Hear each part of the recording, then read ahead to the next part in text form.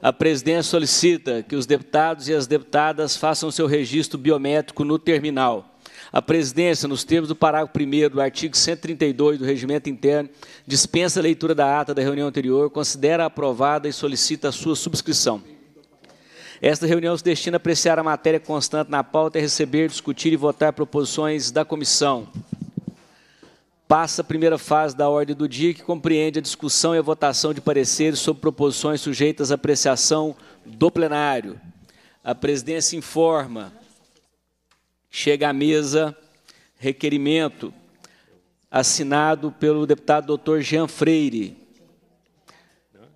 solicitando a votação nominal do requerimento de retirada de pauta do projeto de lei 1931 de 2020. Isso, senhor presidente, para encaminhar. Para encaminhar, deputado doutor Jean Freire.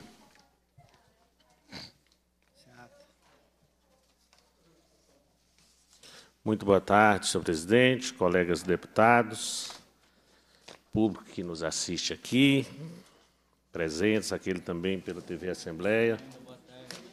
Senhor presidente. Comentei que eu estava abrindo a sessão. Mais uma vez eu venho aqui solicitar aos colegas deputados e deputadas. De uma maneira especial, eu quero cumprimentar a colega deputada, acredito que é a primeira reunião que ela participa. Quero cumprimentar, seja muito bem-vinda a essa casa, casa conhecida como a Voz do Povo, a casa da diversidade de opiniões. E nós estamos aqui hoje para votar um projeto de lei e eu queria, mais uma vez, como fiz pela manhã, chamar a atenção dos colegas deputados. Esse PL que nós estamos aqui, PL 1931-2020. Veja bem, um projeto de lei de 2020 Posteriormente, nós já votamos outros PLs que tratam sobre assunto também voltado para a questão dos cartórios civis. Não, não vou receber nenhum. E que poderia essa matéria ser tratada lá nesse PL, mas nós estamos aqui tratando essa matéria. É, eu queria, por gentileza, a atenção dos colegas deputados e mais uma vez, pedir a vocês uma atenção especial. Eu sei que muitas vezes aqui, muitas vezes não, a maioria das vezes que são votados projetos aqui, leva para um lado se o projeto é de interesse da base do governo, é contra o interesse da base do governo. Esse PL, colegas deputados, em especial a colega Amanda Teixeira. É, esse projeto trata de uma questão muito importante para esse Estado. Nós votamos a semana passada, se eu não me engano, projeto que tratava sobre assunto que tinha uma relação direta com os cartórios. Para que os colegas deputados, em especial a colega deputada, saiba o que nós estamos votando aqui. No final do ano passado, nós votamos aqui um projeto do Tribunal de Justiça, um projeto encaminhado por parlamentar, que tratava sobre a criação, a modificação de uma comissão gestora de um fundo. Um fundo, colega deputada, que foi criado para atendimento a quem mais precisa nesse Estado. Um fundo que foi criado para custear o registro de nascimento, o registro,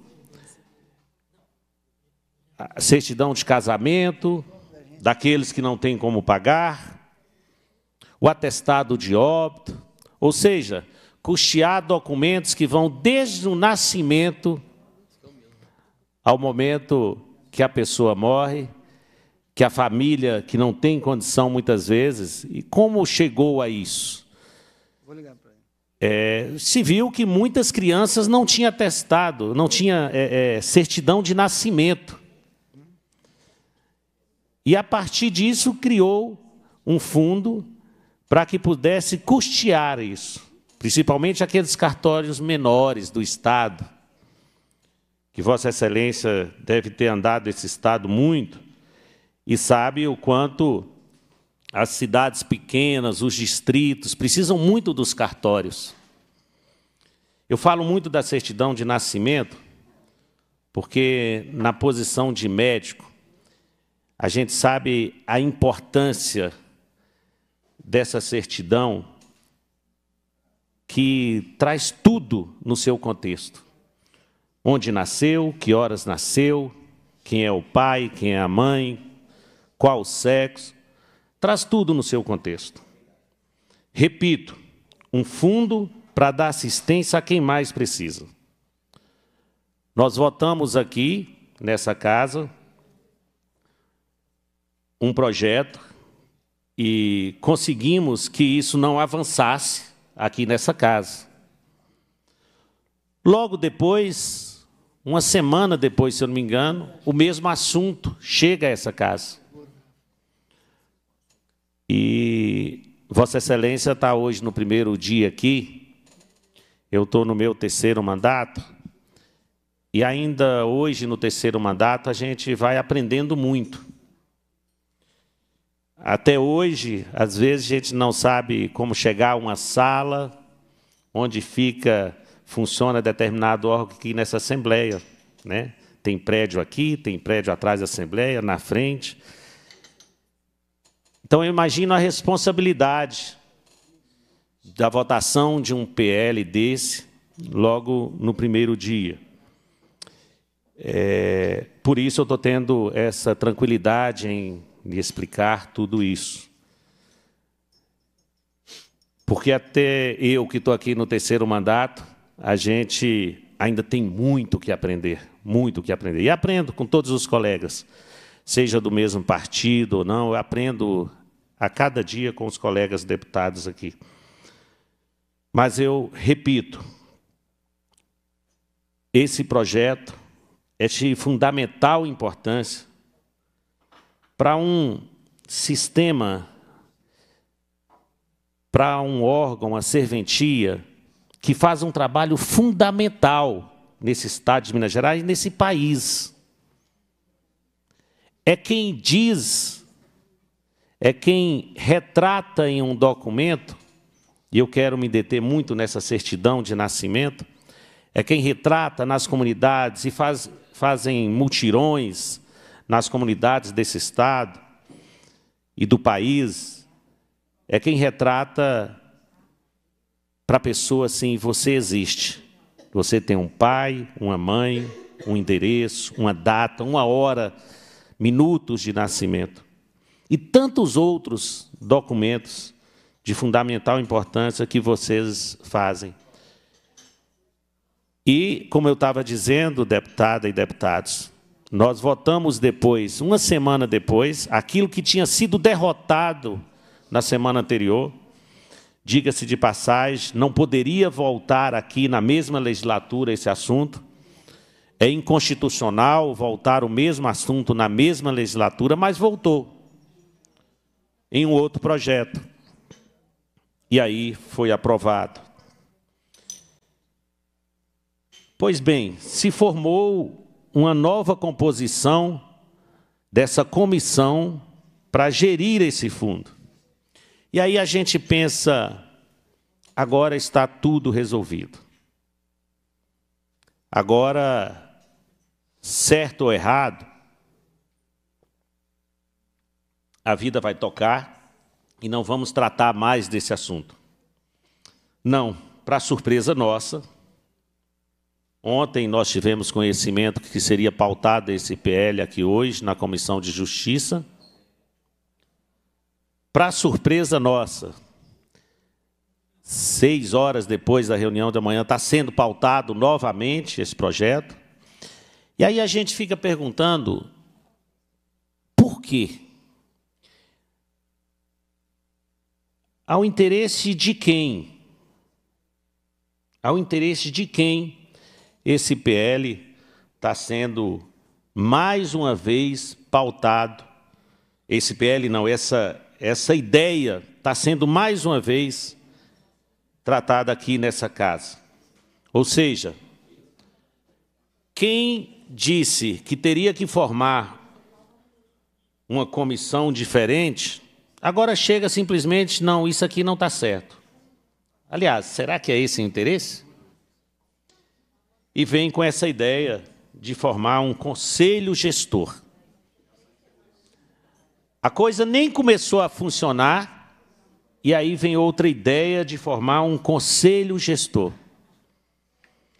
Eu quero pedir a cada deputado, deputado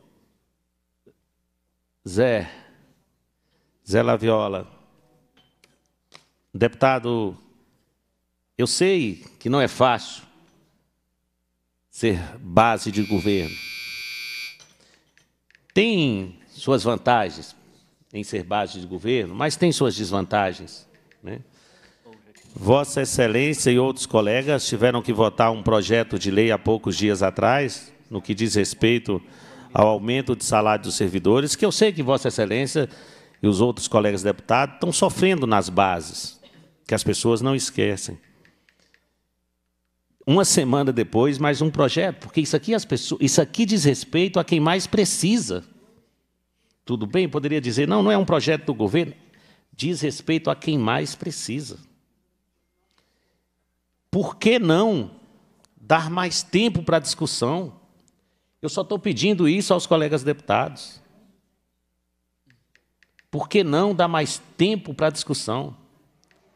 É solidário da nossa parte é solidário da nossa parte, senhor presidente, com todo respeito, mas eu tenho que dizer isso, é solidário da nossa parte. O primeiro PL que a colega está aqui tratando e discutindo conosco, seja essa questão, eu, ela com certeza absoluta não teve tempo de ver o projeto. Pode pedir, para parar. Ela. Só deixa eu falar. Doutor Jean, conclua, por favor. Ah, sim. Eu lhe agradeço, senhor presidente. É, Vossa Excelência sempre gentil, eu vi, eu não vi que o horário tinha passado ali os 10 minutos, mas Vossa Excelência sempre gentil. Eu lhe agradeço, tá? É, mas peço aqui, para concluir, eu peço mais uma vez aos colegas deputados, né? É, vamos colocar a mão na consciência e não se trata aqui de agir defendendo A, B ou C, né, de poderes. Mas eu só estou pedindo, vamos estudar o projeto melhor, vamos discutir com as pessoas. O requerimento está em votação. Presidente. Os deputados. Para encaminhar. Oi? Para encaminhar, presidente. Não tem requerimento de substituição aqui, não. Não chegou nenhum requerimento aqui para nós. Presidente, eu. Não foi comunicada. Ah, agora chegou, né? Até agora não tinha chegado para encaminhar, deputado Leleco. Presidente, deputados aqui dessa egrégia Comissão de Constituição e Justiça, eu fiz questão de vir aqui para discutir esse projeto porque tem a ver com esta situação desde o nosso pedido feito em plenário quando desse tema que agora reiteradamente e vem na CCJ o projeto, mais uma vez, mascarado de uma proposta que nós sabemos qual é a intenção. Eu tenho, como historiador, trabalhado fortemente para que a gente tenha uma pauta da reforma urbana e esta pauta esbarra diretamente na atuação dos cartórios, porque nós trabalhamos a regularização fundiária de interesse social na perspectiva do direito à cidade. Mas não é essa a perspectiva de um serviço que, na anomalia do Estado, é repassada aos cartórios, que tem sido atendida nos projetos de lei. Mas na regalia da alteração da ordem daqueles que procuram num, concurso público ou que procuram nesse serviço que o Estado brasileiro vem mantendo centenariamente como privilégio de alguns, em detrimento do serviço e da política pública. Então é esta relação que vem novamente a esta Comissão de Constituição e Justiça que me faz, às seis horas da tarde, vir aqui visitá-los.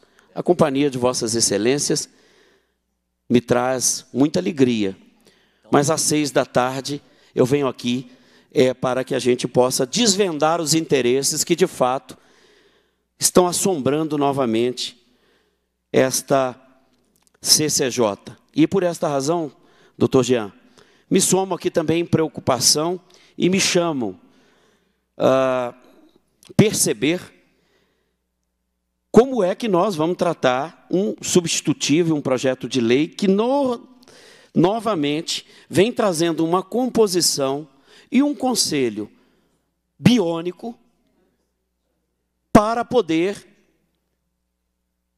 trazer desequilíbrio a uma proposta que foi amplamente debatida por aqueles que hoje serventuários e que procuram dar transparência, pelo menos dos recursos que acumulam, dos serviços que prestam, para poder a população e o serviço ter essa dignidade, e por isso está sendo debatida aqui na Assembleia Legislativa, a gente vem então discutir esse projeto de lei e por isto pedir a vossas excelências que possam também compreender o motivo da gente estar tratando junto com o doutor Jean. Eu peço desculpas, eu ainda não é, me familiarizei com o nome da deputada. Amanda. Amanda. Boa tarde, Amanda. Imagino que hoje, durante a sua posse, tenha sido também importante para que os seus familiares e a sua presença aqui fosse também de acolhimento, e assim o fazemos para que o seu trabalho enquanto parlamentar não seja violado diante da sua votação, da sua legitimidade, e por esta razão é que nós estamos aqui tratando de legitimidade. Imagine se a eleição de Vossa Excelência, enquanto suplente, e que agora toma posse e tem direito ao voto, enquanto todos nós temos o mesmo voto, fosse violada porque alguém resolveu mudar a regra do jogo com jogo em andamento.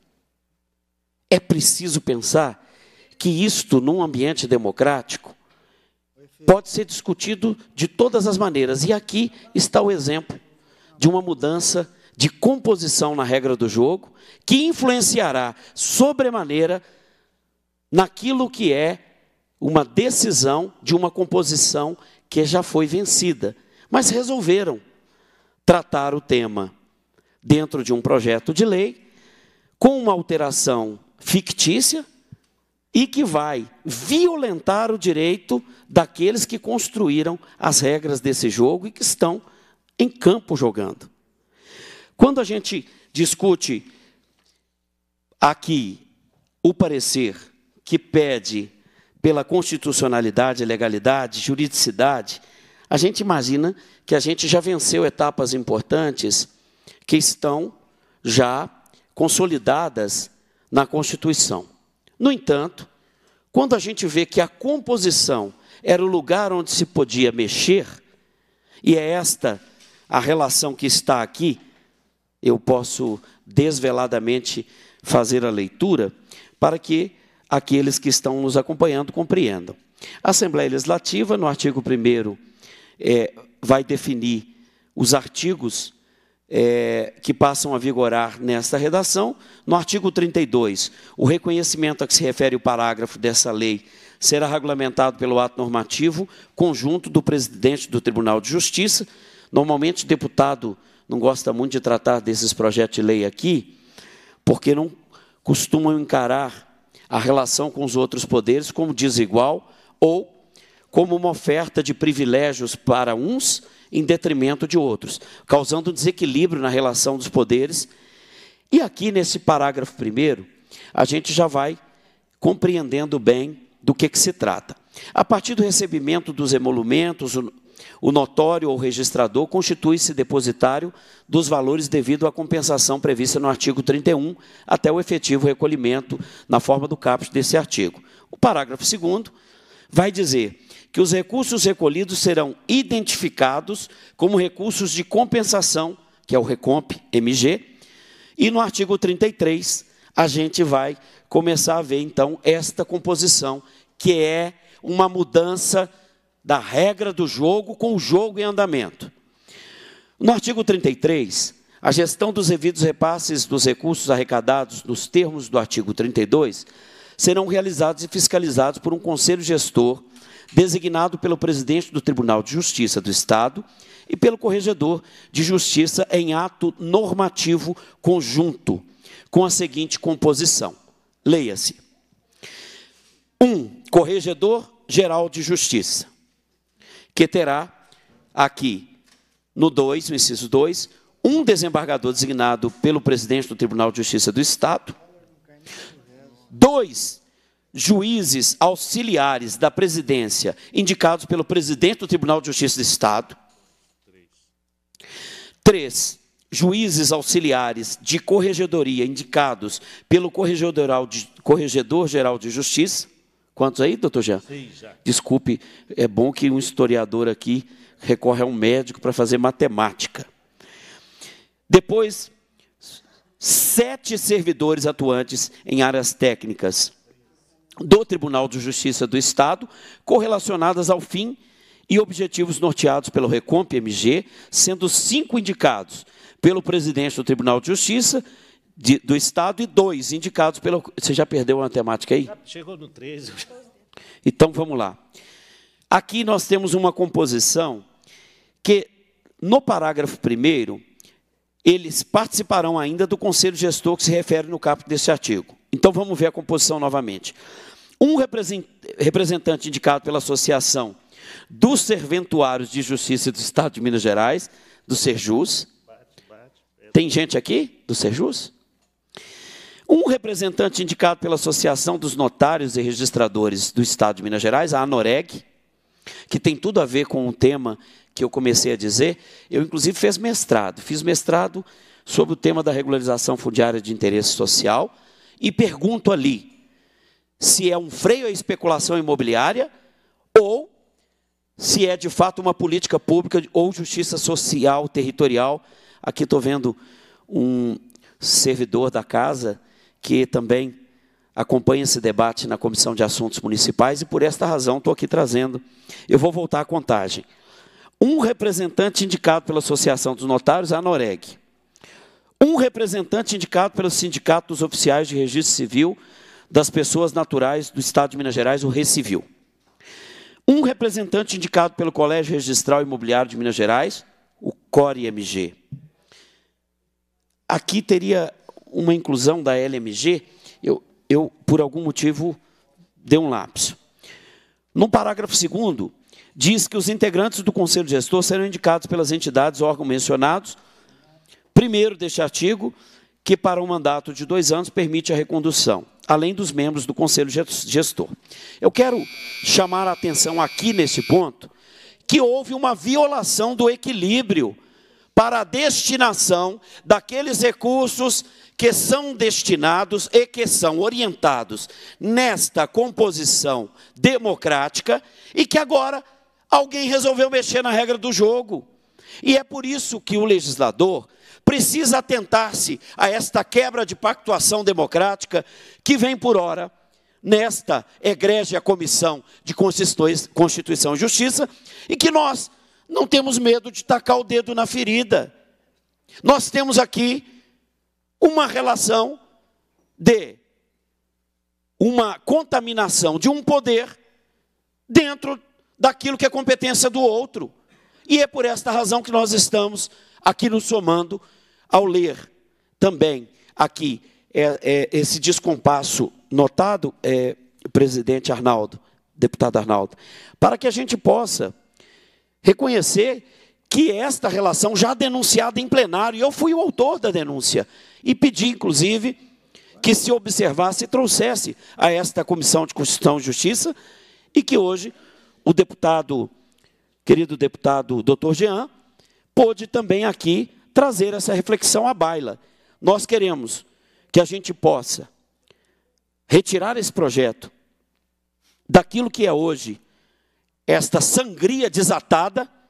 Parece que nós estamos tratando da relação daqueles que vão perder a vida lá no Galera. SUS, ou daqueles que vão perder a vida porque vai faltar o oxigênio, como se isso fosse de fato uma hierarquia relacionada com as coisas que nós tratamos aqui na casa, com a devida importância que nós damos a projetos de lei que tratam da vida das pessoas. Por esta razão, presidente, eu peço e agradeço a Vossa Excelência pela paciência, mas também digo que aqui há um repúdio quanto à forma e quanto a esta proposta de manipulação da regra do jogo e que isso nós pedimos também ao nosso par, ao nosso líder da minoria, doutor Jean, que a gente possa também, juntos, solicitar a este presidente que este projeto de lei não seja votado enquanto a gente não sanar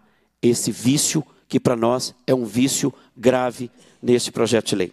Obrigado, presidente. O requerimento está em votação. Os deputados que o aprovam permaneçam como se encontram. O requerimento está aprovado.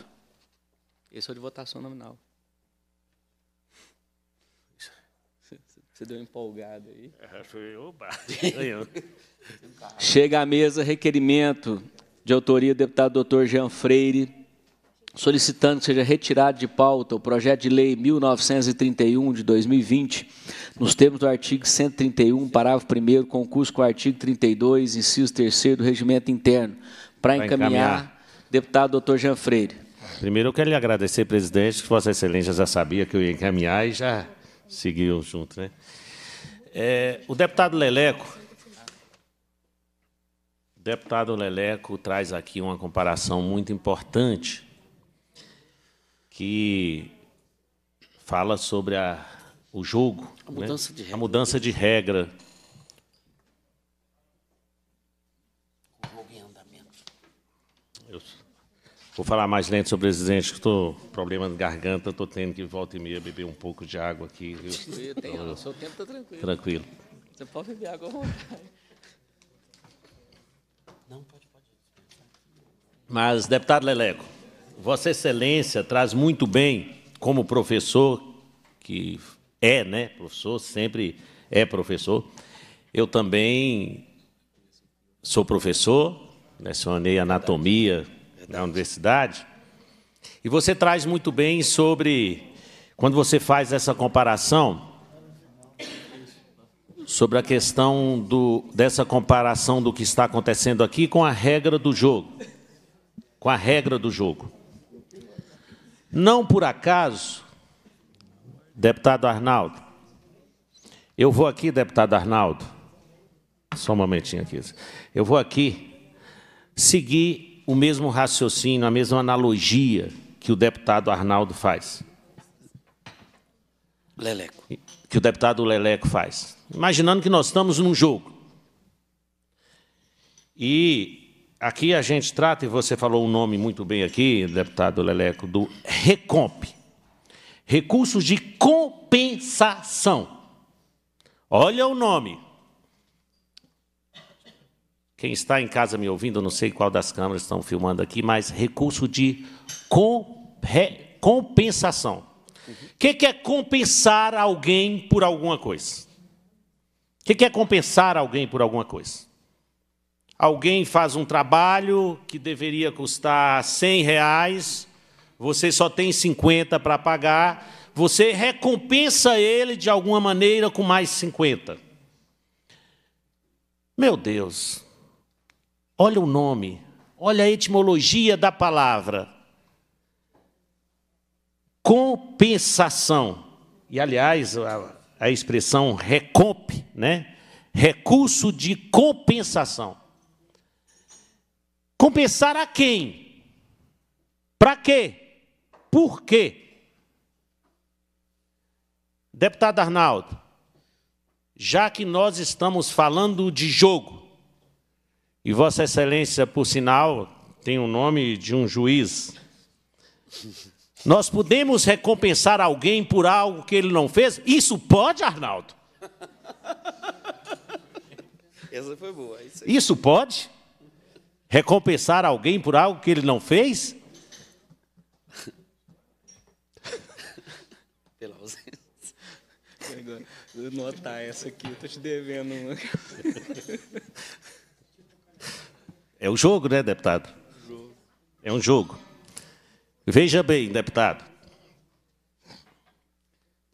Deputado Arnaldo, eu, o deputado Lelé começou a contar aqui a composição desse conselho, faltou dedos na minha mão. Quando cheguei aqui, eu falei, não, não tem para onde mais. Agora, quando a gente vai procurar nesse conselho, quando a gente vai procurar, e eu quero chamar a atenção, os colegas deputados viram esse projeto pela manhã, a deputada Amanda, pela manhã, estava tomando posse. Parabéns, deputada, sejam muito bem-vinda a essa casa. Seja muito bem-vinda a essa casa. Com certeza absoluta, já está sendo e será muito bem acolhida por todos nós. É, deputada, enquanto a Vossa Excelência tomava posse pela manhã, esse projeto estava entrando na pauta. E agora Vossa Excelência está aqui para votar esse projeto. Veja bem, para a senhora, Vossa Excelência entender, me desculpe chamar de senhora, Vossa Excelência entender, Vossa Excelência tão nova, é, um conselho formado por mais de 10 pessoas, que vai gerir um fundo, um recurso que não é deles, e que o único representante, só tem um representante, a quem realmente cabe essa situação, deputado Leleco. Isso pode? Pode, Arnaldo. Eu tenho certeza absoluta, e eu falo, deputado, aquilo que eu falei pela manhã. Dentre nós aqui, Vossa Excelência fez direito. Vossa Excelência também é advogado. Deputado João, é, não sei se é advogado também, deputado João. É, deputado João também é da área de direito, deputado João, João Magalhães não. É, deputada Amanda, não sei, é da área de direito? De direito também. Que bom. Que bom que nós estamos aqui com um historiador, três da área de direito. Eu, depois da medicina, eu comecei a fazer direito. E é um curso maravilhoso que eu acho que tinha que ter é, todo cidadão, toda cidadã com muita verdade isso. Todo cidadão, toda cidadã tinha que ter é, noção básica do direito. Não está na minha mão e nem na, na mão do deputado Leleco, mas na mão de vossas excelências, que são conhecedoras do direito, bem mais do que nós dois. O futuro da gestão desse fundo, vou repetir, que serve a quem mais precisa nesse Estado. Que serve a quem mais precisa nesse Estado, deputado Leleco. É, vou evitar falar números aqui, deputado, mas, assim, como nós aprovamos há poucos dias aqui, nessa casa, nós aprovamos a todo dia, e eu sei que muitos colegas deputados estão se perguntando o porquê desse projeto aqui agora. Nós aprovamos. Eu fui lá também, usei, destaquei a emenda parlamentar, a, destaquei a emenda ao projeto de lei, destaquei a emenda, ganhamos. Aliás, o povo ganhou. Né? Conseguimos rejeitar. E depois, uma semana depois, volta. E agora essa ideia volta de novo. Deputado, Vossa Excelência está no seu primeiro mandato, eu estou no meu terceiro mandato. Acho que não teve um mandato, um ano, que a gente não discutiu alguma coisa voltada à questão dos cartórios aqui nessa casa. Será que nós não ainda encontramos uma fórmula? Aliás, eu, eu sugiro, peço isso a cada um registrador civil de imóveis, ao Tribunal de Justiça, a promotoria, a defensoria pública, As pessoas, eu falei hoje de manhã, deputado, Sim. pela manhã nós olhamos no site da Assembleia, nas redes sociais da Assembleia, quase 1.700 pessoas já tinham colocado um não a esse projeto. Quase 1.700 pessoas. Enquanto 100 pessoas eram a favor, 1.700 contrárias. É, é, mais ou menos o, a formação do conselho, né? só que o oposto aqui. É mais ou menos a formação do conselho. Né? É, só que aqui está de maneira oposta. Né? E nós não estamos dando o direito a essas pessoas de participarem de uma audiência pública, de serem ouvidos, ouvidas. Eu me pergunto, para que a gente perguntar a eles sobre os projetos de leis lá? Aliás, colegas deputados, é fundamental isso, que nós possamos visitar essas páginas da Assembleia e sempre ver os PLs. Né? O que, que a população está achando desse projeto de lei? Ela está a favor, ela está contra? Eu já vi questionamentos que enriqueceram o projeto de lei. Então, isso é importante. Eu, nós estamos, e, e eu sei que tanto o deputado João Magalhães como o deputado Arnaldo e o deputado João Magalhães como líder, eu verdadeiramente, deputado, eu quero aqui dizer que é essa arte de fazer política, de lidar com o contraditório. Política é uma arte, e lidar com o contraditório é muito importante, a gente aprende muito. Né? Mas eu queria, pelo amor de Deus, eu queria pedi-los, vamos dar tempo a discutir isso. De repente eu sou convencido que estou errado. Eu estou pedindo o direito a vocês tentarem me convencer. Aliás, eu, eu, eu pediria aqui, deputado, porque nós, vamos, nós estamos fazendo o nosso papel aqui, encaminhando, mostrando, discutindo. Eu peço, inclusive, os outros colegas deputados, me façam contraditório. Me mostrem o porquê. Encaminhe o projeto aqui, me mostre o porquê. De repente vocês vão me convencer. Então eu queria muito, senhor presidente,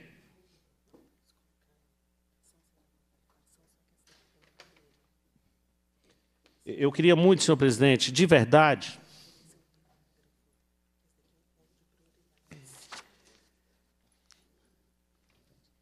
Não, mas é que eu queria, Vossa Excelência. É, eu queria muito, senhor presidente, de verdade, porque nós estamos fazendo o nosso papel aqui, legítimo. Né? Mas, de repente, algum de vocês pede também para encaminhar e faça o contraditório. De repente, vocês vão me convencer.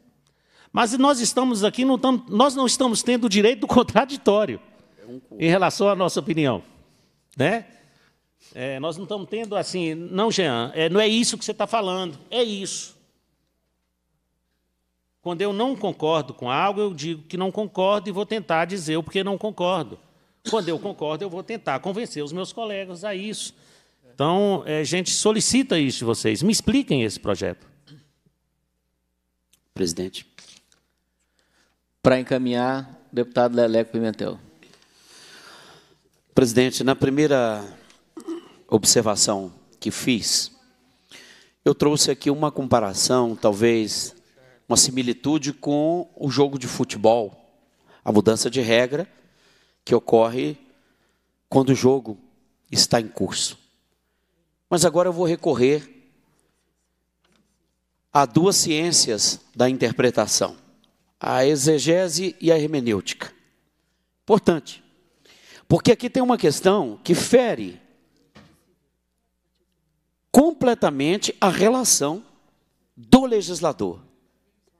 E o legislador, e eu estou me referindo aqui à Casa Legislativa, com seu ordenamento, com toda a sua relação de apreciação das matérias, mas quando vem o artigo 44, e ele no seu para, no, no, no artigo 2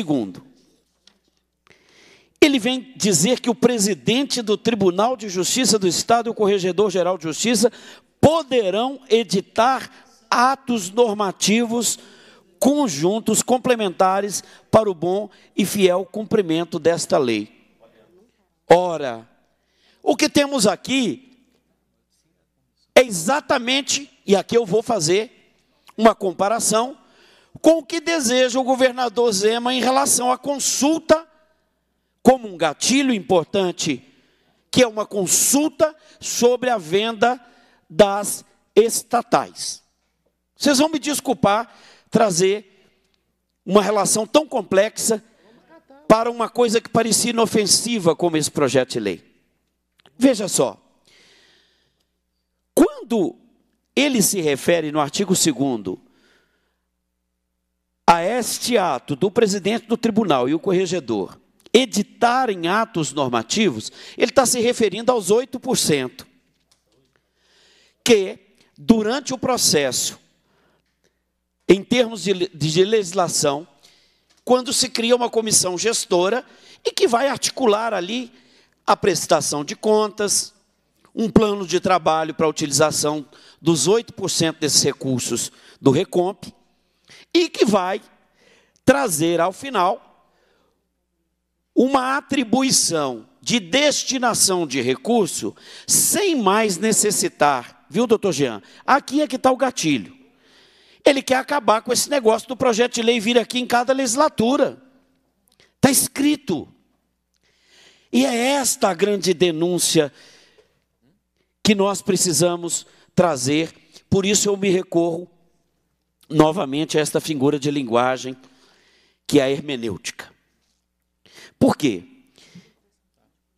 Ao retirar a competência do legislador, e ao editar atos normativos, o que deseja mesmo Zema também, quando da sua relação em consulta é, que está na Constituição Mineira em relação às empresas, às estatais, aqui faz o mesmo para tratar de um recurso que tem origem pública, porque a arrecadação se dá por um serviço prestado, porém quer se dar a esta monta de recurso aquilo que quem tem maioria na regra do jogo agora aprovado possa fazer o que quiser desse recurso.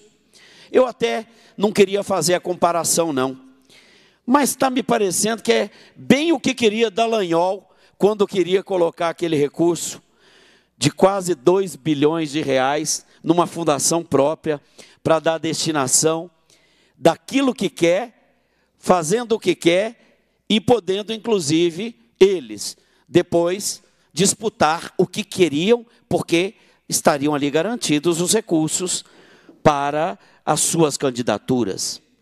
Eu estou dizendo que se a gente estivesse numa associação comunitária e esta associação tivesse arrecadado certo recurso e com o conselho fiscal para deliberar sobre a prestação de contas e até a destinação correta desses recursos, nós estaríamos aqui retirando do Conselho Fiscal e retirando da democracia interna o direito de destinação para um plano de trabalho ou para a destinação correta desse recurso. É mais descarado ainda do que se tem quando se propõe no artigo 2 que estes atos normativos doravante, sejam editados pelo presidente do Tribunal de Justiça e o corregedor. E aqui me fica uma dúvida, por isso a gente tem que interpretar: seria a decisão de dois? Ou seria a decisão de um apenas? É uma decisão monocrática? Ou é a relação de dois que precisam conjuntamente editar os atos? Eu tenho essa dúvida, porque aqui no artigo 2 está editado que o presidente do tribunal e o corregedor-geral de justiça poderão editar atos normativos. Ora um, ora outro, ou esta edição dos atos normativos teria que ser cumprida com a assinatura dos dois. É impressionante quando a gente volta nesta atribuição da Assembleia Legislativa, e por isso eu recorro aqui ao que o senhor acabou de fazer. Quando perguntou eu estou no terceiro mandato, e não tem um, senhor, não sei se o senhor se referiu ao período de cada legislatura ou a cada ano de legislatura. É? Então o senhor está dizendo que tem em torno de 11 anos, aproximadamente. 11 anos que este projeto de lei volta para aqui cada vez mais um Frankenstein. Cada vez com um gatilho para poder retirar, de fato, esta paridade na relação em que aqueles que prestam serviço é quem tem, na destinação desse recurso, o poder de direcionar e agora quer mudar essa compensação do jogo, mesmo tendo esse debate na nossa sociedade a respeito dos cartórios. Alguns dias nós estávamos aqui debatendo sobre o fechamento dos cartórios nos distritos. E este fechamento, e aqui eu recorro até a dizer que nós não temos uma, vamos dizer assim, um mesmo pensamento, mas pensamos numa mesma direção, de que esses serviços devam ser prestados e mantidos, mas que não se tire o direito daqueles que prestaram concurso público para poder exercer essa função e dar cabo dessa tarefa. Porém, nós também trazemos a preocupação de quanto este impacto do fechamento de cartórios em distritos, em, em, regiões, às vezes, que se tem 100 quilômetros, não é? De um distrito com a sede, interligados, às vezes, apenas por estradas vicinais de terra. E este debate trazia para nós a importância que se tem de não permitirmos que esta relação dos cartórios seja única e exclusiva tratada pelo poder judiciário. E por isso que hoje, sendo de autoria do Tribunal de Justiça, o projeto de lei que altera a lei 15424 de 30 de dezembro de 2004, e aqui bem lembrou o deputado que me precedeu nesta fala, doutor Jean, não poderia a gente vir com este parecer que novamente explicita a forma como se quer ganhar na tapetada. Na tapetada, porque quando. Arnaldo, aqui desculpe, Vossa Excelência, a tapetada faz também como uma alusão ao jogo de futebol. Que é quando, tendo as regras estabelecidas, o juiz resolve fazer uma interpretação a bel prazer. E esta interpretação não é a regra jurídica.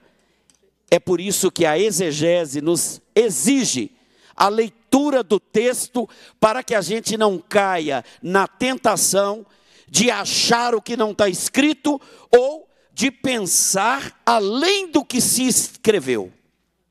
E isto é importante para que a gente possa trazer cada um dos destaques que vem à baila e que, neste caso, desta segunda intervenção, eu quero, então, renovar o pedido de que este projeto de lei que altera esta lei de 2004 não esteja na via de uma aprovação na Constituição e Justiça, porque não se trata de constitucionalidade, trata-se de tapetada naquilo que é a regra do jogo, inclusive querendo endeusadamente, ensimesmadamente, estabelecer os atos normativos, para que daqui para frente não se tenha que consultar, inclusive, o poder legislativo, que tem a função de legislar e que, neste caso, não terá nem como fiscalizar. Porque as ações estabelecidas neste parágrafo 4.4, eu estava mencionando o artigo 2 diz respeito a um percentual que durante o processo de elaboração, o processo conjunto que tem tanto no rei civil quanto tem também no recompe o impacto, teria então a função de eliminar qualquer um que ano a ano, mesmo vindo aqui chorar na comissão, para que quatro deputados, e aqui vocês percebem, se a gente olhasse para a composição desta mesa agora e pensássemos no que, que eles querem fazer, mudando esta composição e editando atos normativos, perceberiam que, além de maioria, querem agora, além de ser juízes, eu vou comparar então aqui com aqueles que não aceitam ser questionados. Os atos normativos a que se refere. Deputada Lé, conclua, por favor. Sim, presidente. Este artigo 2 eles são, no mínimo, no mínimo, motivo para que a gente não aprove e que a gente dê cabo da grande tarefa de. Eu não sei se esse projeto de lei tem melhoria, eu até chego a esta conclusão, lendo o artigo 2, que é o último aqui do texto, para dizer que nós nos empenharemos aqui, não em cansá-los, aos nossos pares aqui, mas em oportunizar um aumento do nível de consciência de que votar nesse projeto de lei é uma aberração que pode causar um dano e que tira do Poder Legislativo esta condição de discussão, de elaboração e de aprimoramento do processo legislativo, em razão de querer retirar da Assembleia Legislativa a competência de tratar em lei, quando querem, na verdade, editar atos normativos. E eu, aqui na dúvida, não sei se o corregedor, e quero até pedir aos, aos nossos pares pedir aqui aos deputados que me ajudem nesta interpretação, se o artigo 2 o presidente do Tribunal de Justiça do Estado e o corregedor de justiça poderão editar atos normativos. Eu estou dizendo aqui que tenho dúvida se simultaneamente ou cada um em seu tempo. Eu questiono e peço ajuda, inclusive, aqui a nossa consultoria da casa, para compreender o que, que se quer aqui neste parágrafo 2 do artigo 44. Obrigado, presidente. A presidência vai submeter o requerimento em processo de votação nominal. Os deputados que aprovam o requerimento de retirada de pauta do projeto de lei 1931 de 2020 votam sim quando chamados. Os parlamentares que votarem não ao projeto de lei, ao, ao, requerimento de retirada de pauta do projeto de lei 1931 de 2020, estarão é, dizendo não ao requerimento de retirada de pauta. Votação nominal. Como vota o deputado Aleco Pimentel? Sim, com todas as letras maiúsculas, S e M. Como vota o deputado Dr. Jean Freire? O deputado Dr. Jean Freire vota sim. Como vota o deputado Zé Viola? Voto não, senhor presidente. Como vota o deputado João Magalhães? Com todas as letras maiúsculas, maiúsculas N-A-O-T-U. Como vota a deputada Amanda? Olá, presidente, eu voto não. Essa presidência também vota não, o requerimento está rejeitado.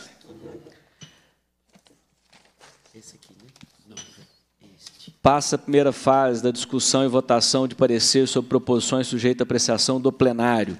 Projeto de Lei 1931 de 2020, primeiro turno, altera a Lei 15.424 de 30 de dezembro de 2004, que dispõe sobre a fixação, a contagem, a cobrança e o pagamento de emolumentos relativos aos atos praticados pelos serviços notariais e de registro, o recolhimento da taxa de fiscalização judiciária e a compensação dos atos sujeitos à gratuidade estabelecida em lei federal e da outras providências. De autoria do Tribunal de Justiça, em reunião anterior foi distribuído avulso do parecer pela juridicidade, constitucionalidade e legalidade na forma do substitutivo número 1 de minha relatoria está em discussão chega à mesa requerimento de autoria do deputado doutor Jean Freire solicitando a votação nominal do requerimento de adiamento de discussão do projeto de lei 1931 de 2020. Para encaminhar, Para encaminhar, deputado doutor Jean Freire.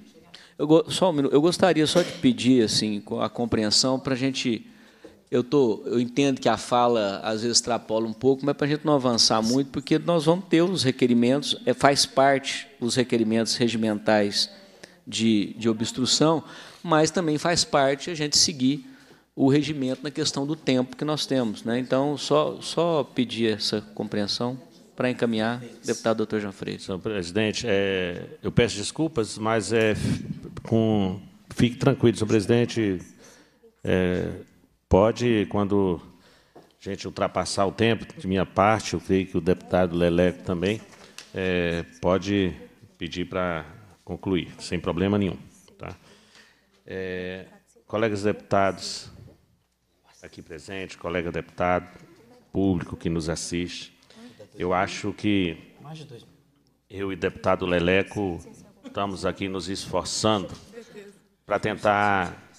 É, não se trata aqui, senhor presidente, eu sei que é regimental, todos esses requerimentos, emendas que nós estamos apresentando, mas não simplesmente isso. É, eu acho que essa discussão, esse encaminhamento, deputado Leleco, traz algumas situações à tona, à luz, clareia algumas situações aqui para todos nós. Deputado Leleco. Depois da discussão. Depois da... Nenhum sozinho, não. Deputado é, Leleco traz muito bem aqui a questão do artigo 2 do projeto. Prevê a competência conjunta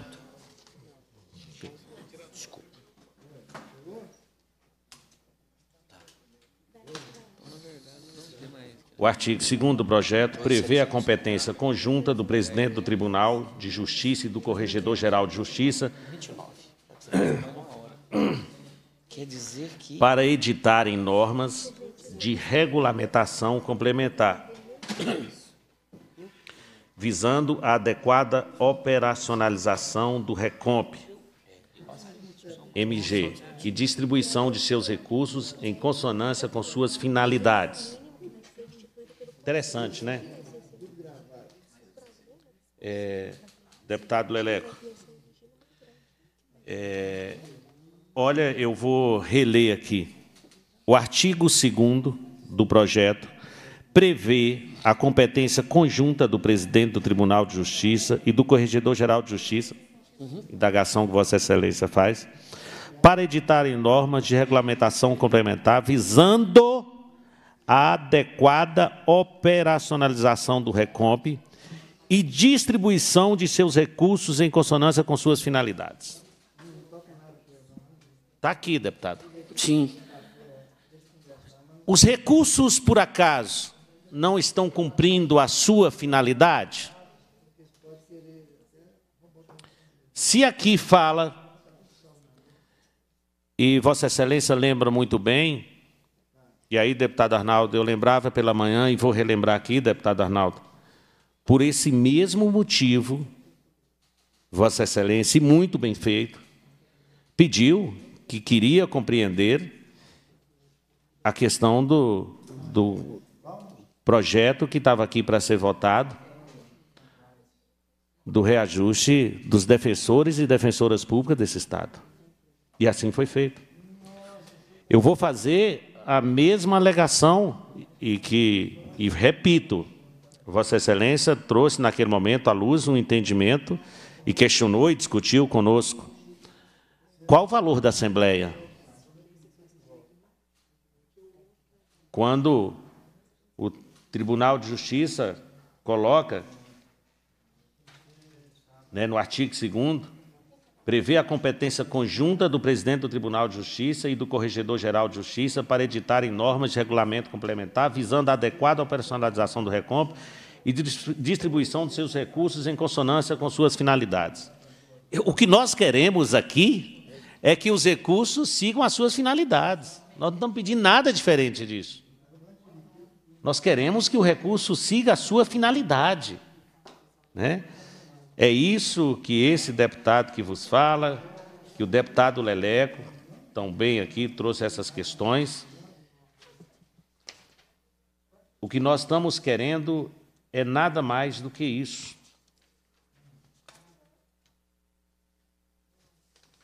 Isso é importante que fica muito bem frisado que foram votados outros projetos aqui com essa mesma ideia, deputado.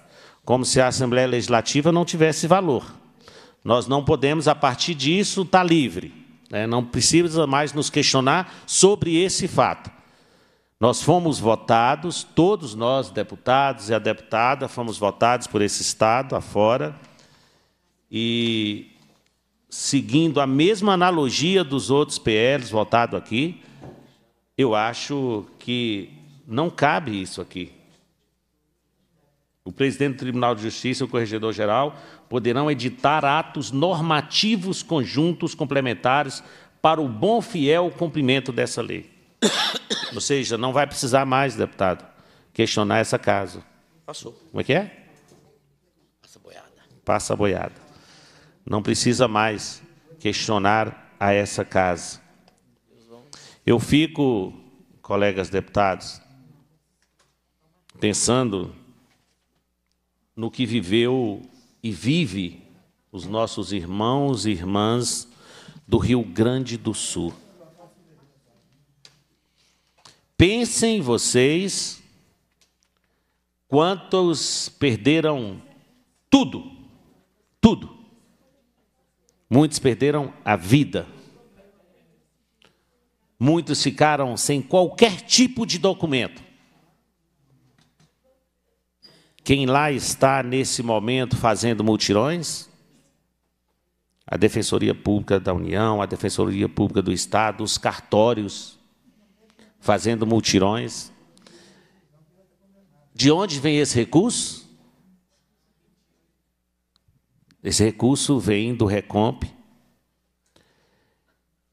E será que um dia, primeiro que nós já precisamos nesse momento, nas nossas comunidades, falo aqui em nome do Vale do Jequitinhonha e do Mucuri, quantos não têm essa condição de pagar esses documentos.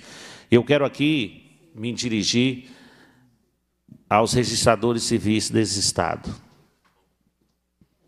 Primeiro, parabéns a vocês que fazem esse trabalho tão bem feito.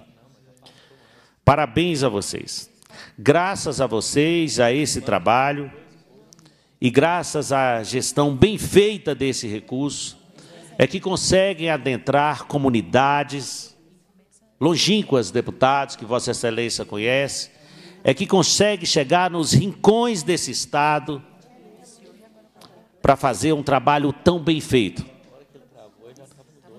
para deixar registrado que uma criança existe, que tem nome, sobrenome, pai e mãe, onde nasceu, qual a cor da sua pele, tudo.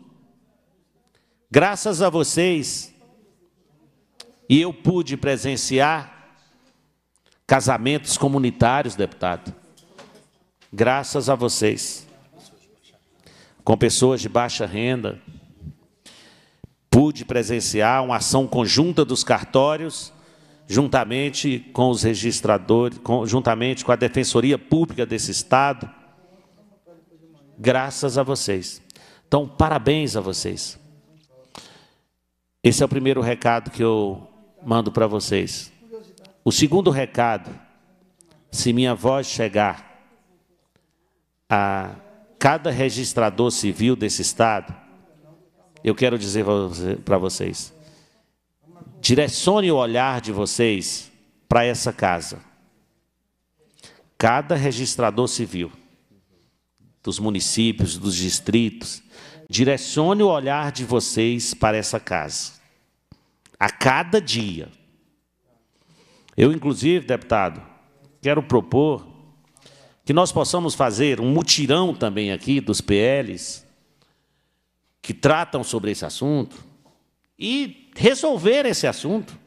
Né? Como, daí um ano, dois anos, não deu certo, gente muda, mas veja bem, está sendo proposto agora a mudança de algo que nem foi efetuada ainda, que essa casa votou há poucos dias, meu Deus, onde nós estamos? votou há poucos dias. Foco, o que nós votamos aqui. E se eu não me engano, dois ou três deputados só votaram contra. Não, não me lembro o número aqui. Mas o que nós votamos aqui já é motivo, é alvo de uma ação direta de inconstitucionalidade. Que não temos nem a resposta ainda. Paro por aqui, senhor presidente. Presidente. Volto do mesmo ponto depois. Para encaminhar, deputado Leleco Pimentel. Esta oportunidade nos, nos provoca a voltar ao texto sempre, porque ele é o objeto aqui para esta conscientização do que nós estamos tratando na Comissão de Constituição e Justiça. Eu mencionei na fala passada, a primeira, tratei da alusão à mudança de regra no meio do jogo. Na segunda, da interpretação. Da interpretação, tive aqui, inclusive, a consultoria me dizendo que a interpretação para o parágrafo 2 do artigo 44 é que o ato normativo a que propõe esta lei seria editado pelos dois. Há uma assinatura conjunta, simultânea, e a ausência de um impede ou impediria, nós queremos impedir que isso aconteça, que estes atos normativos fossem editados e, a bel prazer, porque é assim. Eu comparei, inclusive ao fim, a uma associação comunitária, porque a organização e a prestação de contas para quem nos recebe aqui a palavra é para se comparar didaticamente como é que esta relação com recurso e decisão coletiva deve ser feita, ainda mais no preceito do Estado de Direito. Neste Estado que, hoje, na sua relação entre os poderes, a todo tempo é instado a desequilibrar-se. Eu não vou voltar à teoria do equilíbrio dos poderes, mas eu queria dizer do jogo da tapetada para desequilibrar a regra democrática que vale para todos os poderes. Aqui na casa, se a gente tivesse o presidente Tadeu, que deve seguir a regra de como cada deputado ou dos serviços que a Assembleia disponibiliza, inclusive com o seu quadro de pessoal permanente, se ele resolvesse, por si, editar alguns atos que ferissem a lei, haveria ele de ter a submissão desta prestação de contas a um conselho e, portanto, nesse equilíbrio de regra, não poderia descumprir a lei. O que nós temos nesse debate do cartório a todo tempo é uma tentativa de não ter mais que submeter-se ao legislador para poder distribuir, descompensar e legislar. Aqui então, eu me referi no terceiro ponto, na última fala, quando da questão do fechamento de cartórios nos distritos e comunidades. Para os leigos, a gente só sabe de cartório quando tem que levar o menino lá para registrar, ou quando morre, ou quando casa. Porque cartório parece algo na vida das pessoas tão estranho, porque é como se a lei natural da vida, de nascer, de morrer, fosse obrigada, de fato, a ser estabelecida. E o Estado, ele paga por cada anotação dessa que acontece. É claro que eu não estou falando para leigos, mas é bom de vez em quando fingir de bobo. Então, quando a gente está aqui chamando atenção para o artigo 34, eu falei dos 8%, porque ele fala que será retido o percentual de 8% calculado sobre os valores recolhidos na forma do artigo 32 para custear as despesas vinculadas aos trabalhos a cargo do conselho gestor previsto no artigo 33 dessa lei. Parágrafo 1 os recursos arrecadados nos termos do parágrafo único do artigo 31 desta lei, após deduzido o percentual previsto no caput desse artigo, atenderão à seguinte ordem de prioridade, para a gente entender esta questão do que é natural e o que o Estado faz na sua burocracia para te cobrar e para pagar e para remunerar sobre esse serviço. Um, compensação aos registradores civis das pessoas naturais pelos atos gratuitos praticados em decorrência da lei. Aqui eu quero chamar a atenção que a complementação da receita bruta mínima mensal, aqui se referia ao deputado doutor Jean, das serventias deficitárias, até se atingir a renda de 485 UFENGs por serventia. Fazendo um cálculo aqui, a nossa querida também advogada e que a gente recorre a todo tempo, Poliana, ela fez o cálculo aqui, é, fica mais ou menos R$ 2.529, o, que equivale né, em 485 UFENGs. Lá no terceiro, a compensação aos registradores de imóveis pelos atos gratuitos praticados em decorrência da aplicação da lei, e aqui é importante lembrar da Lei 14.313, que é uma lei de 2002, tendo como limite máximo o valor constante na tabela de emolumentos correspondentes, desde que não existam recursos para esse fim, no fundo a que se refere a Lei 23.229, de 28 de dezembro de 2018. Aqui é uma vacância, um intervalo da lei de 2002 com a lei de 2018. O custeio de despesas relativas ao funcionamento de serventias vagas, eu estou traçando aqui o paralelo na leitura para entender por que do fechamento de cartórios e o que tem a ver com aquilo que estão estabelecendo aqui com arrecadação mínima. Lembrando que as 485 FENGs que estão descritas é, no parágrafo 1 inciso 2 equivale a quase 2.000, é, 2.529, quase 2.530 reais. E aqui, no inciso 4 o custeio de despesas relativas ao funcionamento dessas serventias vai tratar para que se tenha sido designado interino na forma do parágrafo 2 do artigo 39 da Lei 8.935, de 18 de novembro de 1994. Retroagir as duas legislações que eu havia citado, de 2002 e 2018, voltando à Lei 8.935, de 94. Vão vendo aqui que Frankenstein é tratar deste projeto de lei aqui na Assembleia. E diz que os limites e requisitos definidos em ato deliberativo do Conselho Gestor, e não, como quer aqui nesta propositura, que seja atos normativos editados pelo, é, pelo juiz, perdão, que não pelos. Deixa eu ler aqui para ficar mais claro.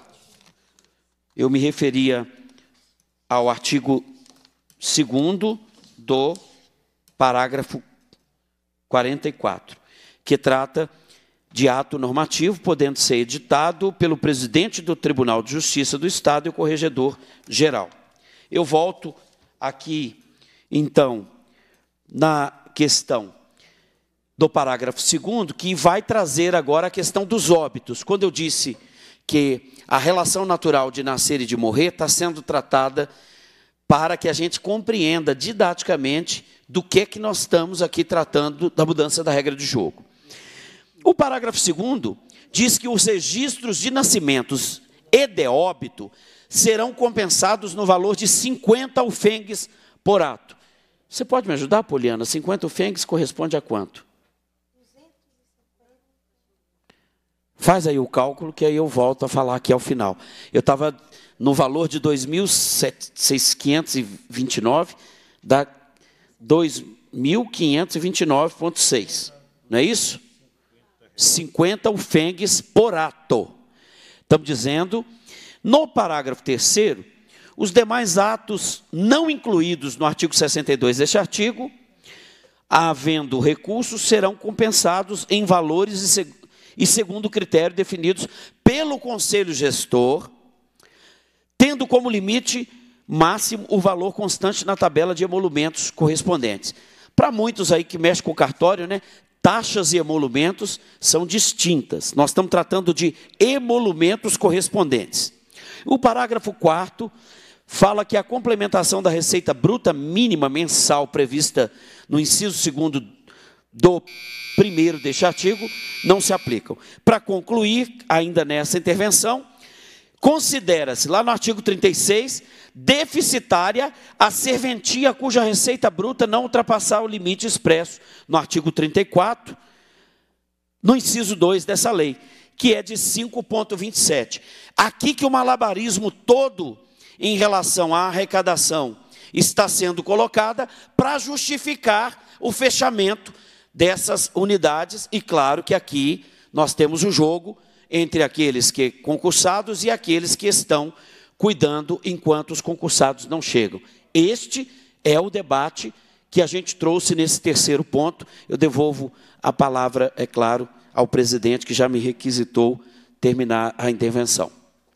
A presidência vai colocar em votação o requerimento que solicita votação nominal do requerimento de adiamento de discussão do projeto de lei 1931-2020, de autoria do deputado Dr. Jean Freire. O requerimento está em votação. Os deputados que o aprovam permaneçam como se encontram. O requerimento está aprovado. A presidência informa que chega à mesa requerimento assinado pelo deputado Dr. Jean Freire, solicitando que seja adiada a discussão sobre o projeto de lei número 1931 de 2020, nos termos do artigo 247 do regimento interno. Para encaminhar, deputado Dr. Jean Freire. Na verdade, senhor presidente, é, eu poderia até fazer um outro requerimento é, que a discussão existisse. Para ausência de né? Porque, na verdade, é, eu vou tentar pegar a formação e o significado da discussão mesmo, viu, Leleco? Quando a gente discute algo, né, nós queremos ouvir o contraditório. Né? E se talvez nós tivéssemos, pelo menos aqui, nós, veja bem, está eu e o deputado Leleco defendendo uma tese. E é, nós queríamos ouvir sobre o oposto. Talvez nós estamos errados, deputado. Né? Para alguns, sim. Sim. Então a gente poderia aqui ouvir o oposto. Eu peço esse requerimento, adiamento da discussão, mas que ela ocorra mesmo de verdade. Né? Olha, gente, nós estamos aqui com o PL na mão. Nós estamos. Está aí também, né, deputado? Com justificativa, e nós estamos aqui pegando ponto por ponto. O deputado, eu não sei se Vossa Excelência, é óbvio que já notou. Quanto mais a gente olha o PL, às vezes a gente pensava que era um probleminha, né? a gente vai percebendo nos pormenores aqui problemões. Vossa Excelência colocou muito bem aí é, o receio que a gente fica do fechamento de cartórios. Né? No interior, nas regiões que mais precisam. Artigo 36. Está aqui. Considera-se deficitária a serventia cuja receita bruta não ultrapassar o limite expresso no artigo 34. Aí a gente vai lá, deputado, presta atenção. Isso é uma possibilidade, inclusive, de deixar aí interrogações se pode fechar ou não. Né? Excelência deve estar fazendo as continhas aí, né? Dos UFENs aí, vai anotando aí. Ninguém vai chegar ao mínimo. É, para fazer jus, está escrito aqui. Para fazer jus à complementação da receita bruta mínima prevista no artigo 34, parágrafo 1 inciso 2 desta lei, a serventia deverá comprovar a prática de um número mínimo de atos praticados mensalmente, em aferição semestral, conforme for definido pelo conselho gestor. Olha o poder desse conselho. Olha o poder desse conselho, deputado, que vai gerir a vida dos outros o recurso dos outros, os outros, diga-se de passagem, que estão fazendo um trabalho maravilhoso para os outros, e o conselho gestor que vai definir. Vossa Excelência lembrou aqui qual seria essa renda mínima, né? 485 FENS. Cada uma, deputado, está no valor de 5,7. Deixa eu fazer uma continha rápida aqui. É. 2,529. 2,529. Isso leva bem, menos fora. Tá, tá. 2.529,6 reais. É, nesses cartórios que muitas vezes nós entendemos, eu não gosto nem de chamar deficitários, não. Eu não acho uma palavra boa de chamar esses cartórios deficitários. Né? É uma palavra negativista, né? Para um órgão que faz um trabalho, estou aqui agora chamando a atenção isso. Essas coisas das palavras são muito importantes. Né? Eles não são deficitários. Porque fazer algo de grande valor para quem mais precisa não tem como ser deficitário. Não tem como ser. Eles é, recebem menos do que outros cartórios que estão nos grandes centros, nas grandes cidades, e eles devem receber por isso, a mais. Né? Isso, deputado, se você olhar um valor, que inclusive esse projeto, se não me engano, está querendo diminuir o valor, no limite de 4 mil, para pagar a quem trabalha ali, para pagar luz, internet, aluguel, isso é um absurdo. Isso é um absurdo, gente. Olha o que nós estamos discutindo aqui. Eu quero reforçar mais uma vez os colegas deputados. Eu, na minha fala anterior, para ser correto e fiel e leal ao tempo, eu estava falando da ação direta de inconstitucionalidade que está em andamento, deputado, e que não ainda foi julgada, que não ainda temos um parecer. E eu estava dizendo, complementando aquela fala, estão querendo mudar algo que está, nesse momento, sob julgamento. Né? E, com certeza, se nós fizermos isso aqui, vai ser mais uma ação direta de inconstitucionalidade. Tenho certeza absoluta que vai ser mais uma ação direta. Uhum. Porque é, andando por esse Estado, dialogando com os registradores civis, deu para perceber que eles estão cada dia mais atentos, organizados e procurando todos os seus direitos e uma coisa importante, eu falava do Rio Grande do Sul, deputado, é a gente entender os outros estados da federação. Não que nós somos obrigados a funcionar de maneira igual. Quantos estados da federação essa mudança foi feita? Quantos? Se por acaso foi feito em algum, em um Está dando certo? Ou o final da história não está sendo fechamento de cartórios? Né? É muito interessante, deputado, porque quando fala isso aqui, a gente vê muitas vezes encher essa casa, né?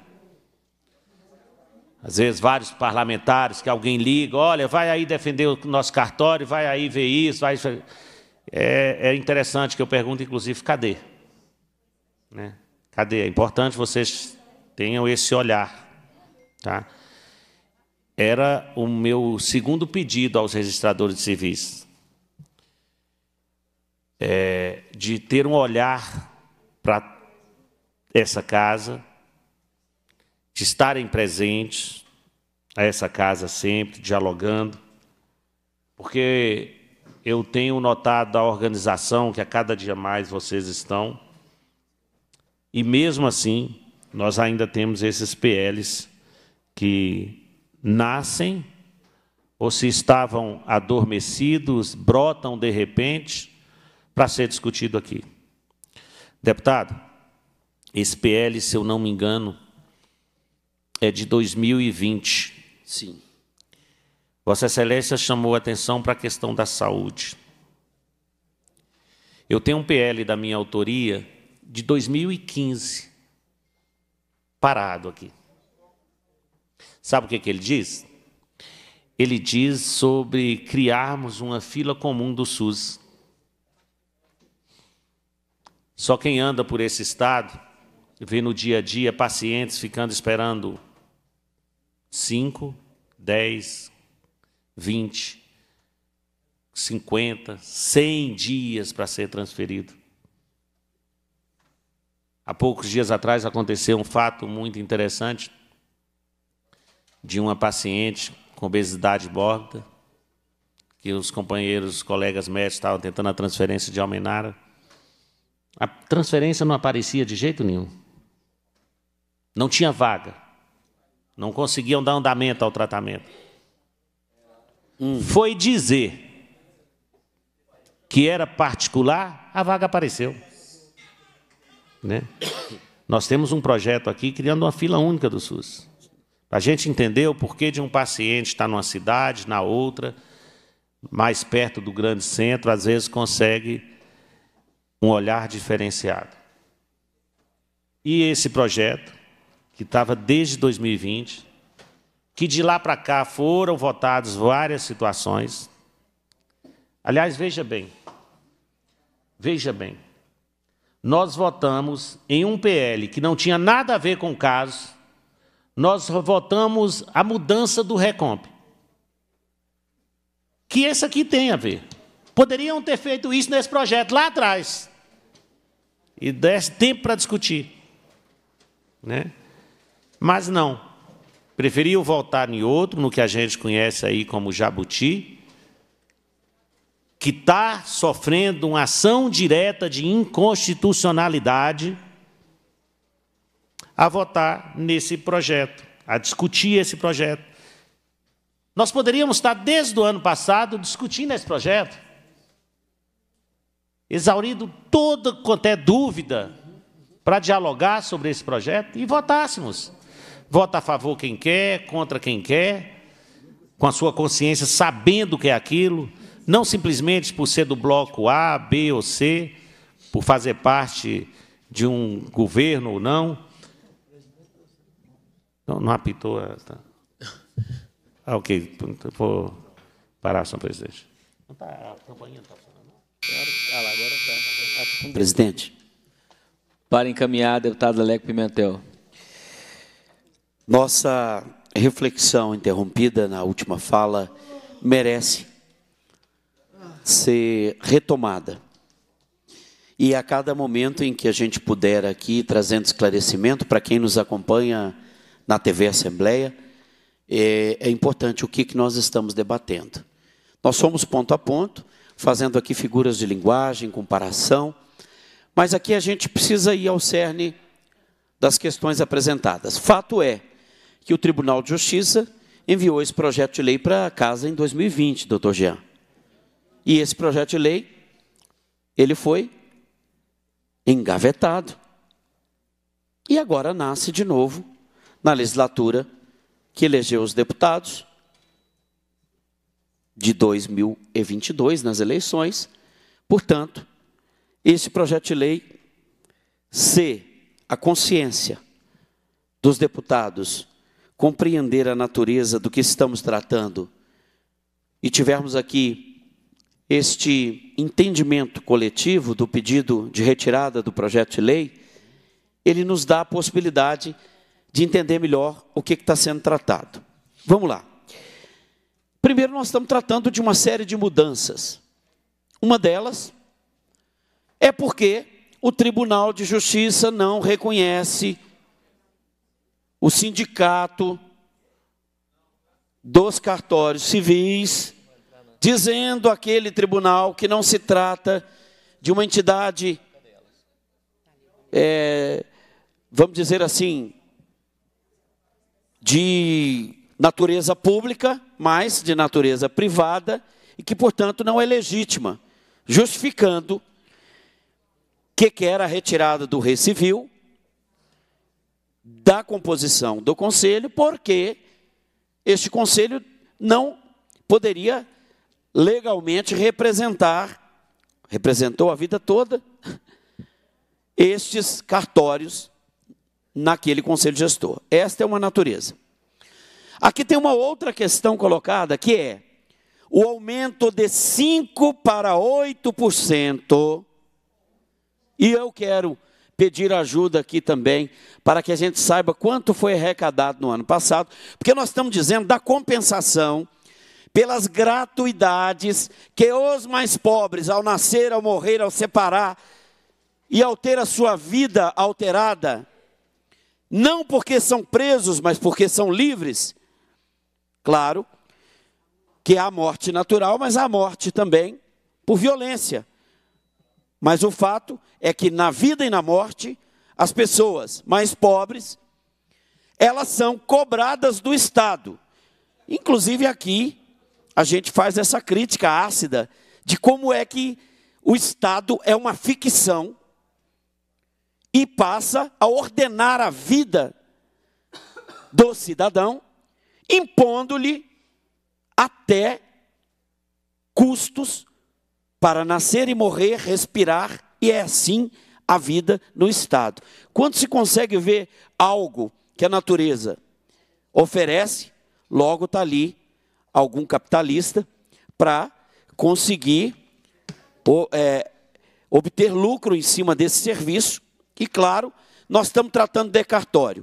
Então, o que, que significa um aumento de 5 para 8% na distribuição destes recursos advindos das gratuidades aplicadas, quando composição e a distribuição já estão estabelecidas, inclusive para aqueles cartórios menores que garantem a sua sobrevivência e a sobrevivência desse serviço graças a este rateio. Então, esta é mais uma das questões tratadas aqui nesta nesse debate na Comissão de Constituição e Justiça. Verdade é também que o texto enviado pelo Tribunal de Justiça em 2020 nunca recebeu, portanto, de 2020 a 2024, nós já estamos no mês de junho, há quatro anos e meio, um parecer pela constitucionalidade e muito menos foi votado aqui na Assembleia Legislativa, porque traz, além das contradições, traz a falta de reconhecimento histórico, traz uma proposta de novo rateio que a gente quer entender a quem beneficiará. Ninguém aqui é bobo para pensar que um aumento de mais de 3% no valor desse rateio vai beneficiar um grupo em detrimento do fechamento de cartório e em detrimento de outros tantos que prestam esse serviço. E também ninguém aqui vai deixar de debater a natureza ditatorial empreendida no artigo 2 do parágrafo 44, que estabelece que atos normativos serão estabelecidos a bel prazer, a revelia do legislador para tratar de atos que são de natureza legislativa. Então eu fiz um resumo aqui para entender quais são os pontos nodais desta relação. Nós também recorremos à, figura do jogo em curso para entender como é que se quer tirar jogadores ou aqueles que influenciam no voto, porque no campo democrático o conselho gestor deste ato de distribuição do rateio sofre com a penalidade de retirada de um representante sendo substituído por outros que já têm representação. E se você já tem uma representação e você aumenta quando a decisão se dá por votação dos seus pares, você altera a regra do jogo com o jogo em andamento. Por que, que nós falamos que o jogo está em andamento? Porque o que faz o Tribunal de Justiça ao enviar este projeto de lei para a Assembleia Legislativa é tentar mudar esta composição, aumentando o valor para aquelas despesas que custam né, as despesas incidentes em relação a esse conselho gestor, a esta é, administração, que não é um valor pouco para nós aqui que estamos debatendo recursos que advêm da gratuidade, portanto, tem o caráter de recursos públicos, não seria debatido aqui a natureza de recursos privados, não fosse a preocupação deste parlamento com a distribuição, com a legalidade, com o equilíbrio e com a boa fé que se quer na representação de um conselho, e é por esta razão que nós estamos mantendo aqui a argumentação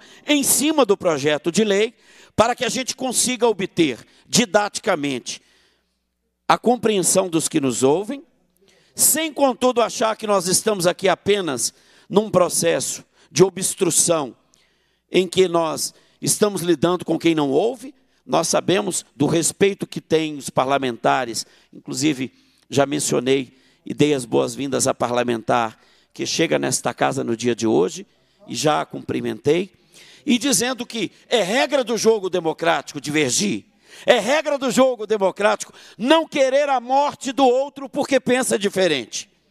E o que tem a ver o jogo que não quer ser democrático com o que está sendo debatido? É que até quando um parlamentar não concorda com o outro, ele não tem que desejar que o outro morra.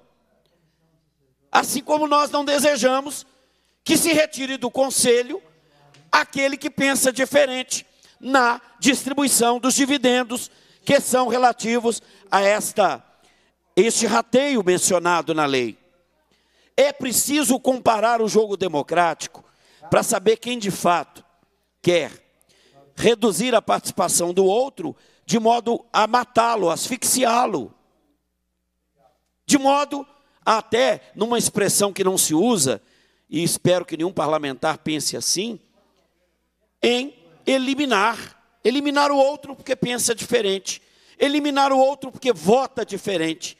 E a composição, ela nos remete a uma relação saudável, democrática, que deve ser estabelecida com um regramento quando você entra para um determinado lugar e que se espera esse ambiente tenha respeito à sua opinião, mas ao seu voto, e aqui vamos direto ao ponto, o projeto de lei, então, ele é, no mínimo, polêmico, para não dizer injusto.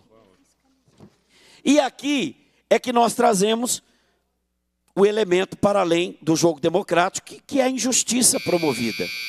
Quando a gente faz um rateio e que a gente desrespeita cartórios ou lugares de serviços públicos que trazem a gratuidade, estou dizendo aqui para o Célio, que está aqui sentado, seja no programa Minha Casa Minha Vida, seja na regularização fundiária para os mais pobres, que trata da gratuidade na primeira é, é, intervenção dentro dos cartórios, eu vou devolver a palavra, que eu já fui advertido pelo presidente Arnaldo. Eu volto com certeza na argumentação seguinte. Obrigado, presidente. A presidência vai submeter à votação o requerimento que solicita o adiamento da discussão sobre o projeto de lei 1931 de 2020, nos termos do artigo 247 do Regimento Interno. A votação será nominal. Os deputados que desejam aprovar o requerimento vão dizer sim, e os deputados que desejam rejeitar o requerimento vão dizer não. Como vota o deputado Laleco Pimentel? Presidente, eu, em uso da palavra, sei que está restrito a dizer sim, mas quero justificar da importância dos demais deputados acompanharem o nosso voto. E assim os peço, votem sim.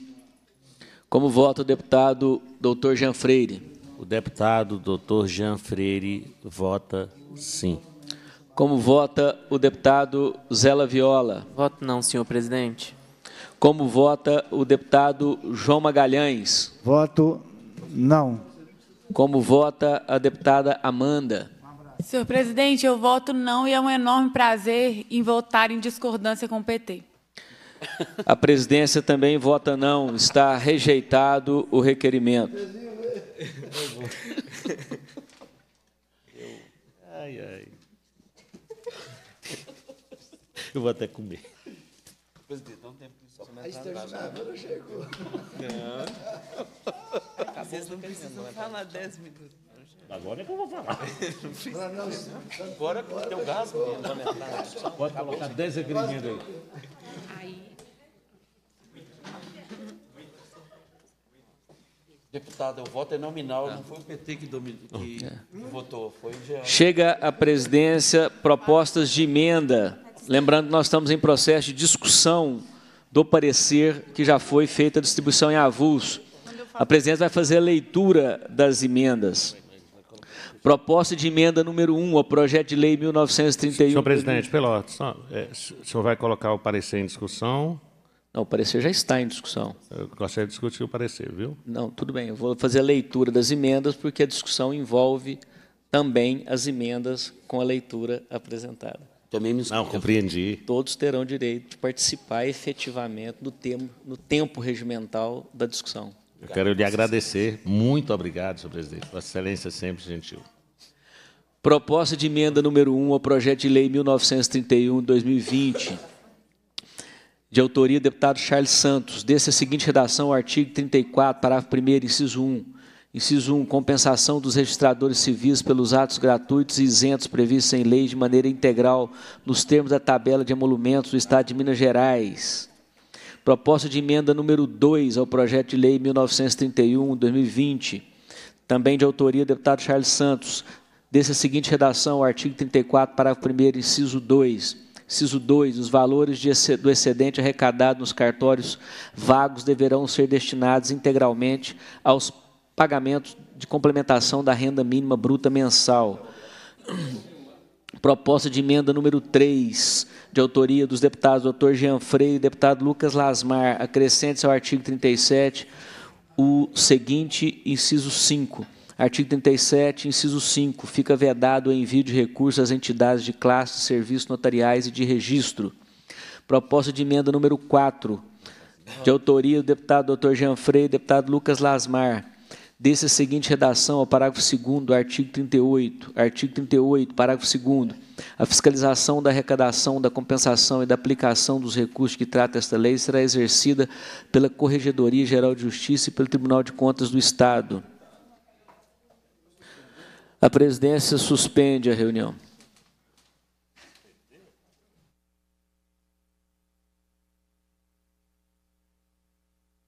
Acrescente-se onde convier.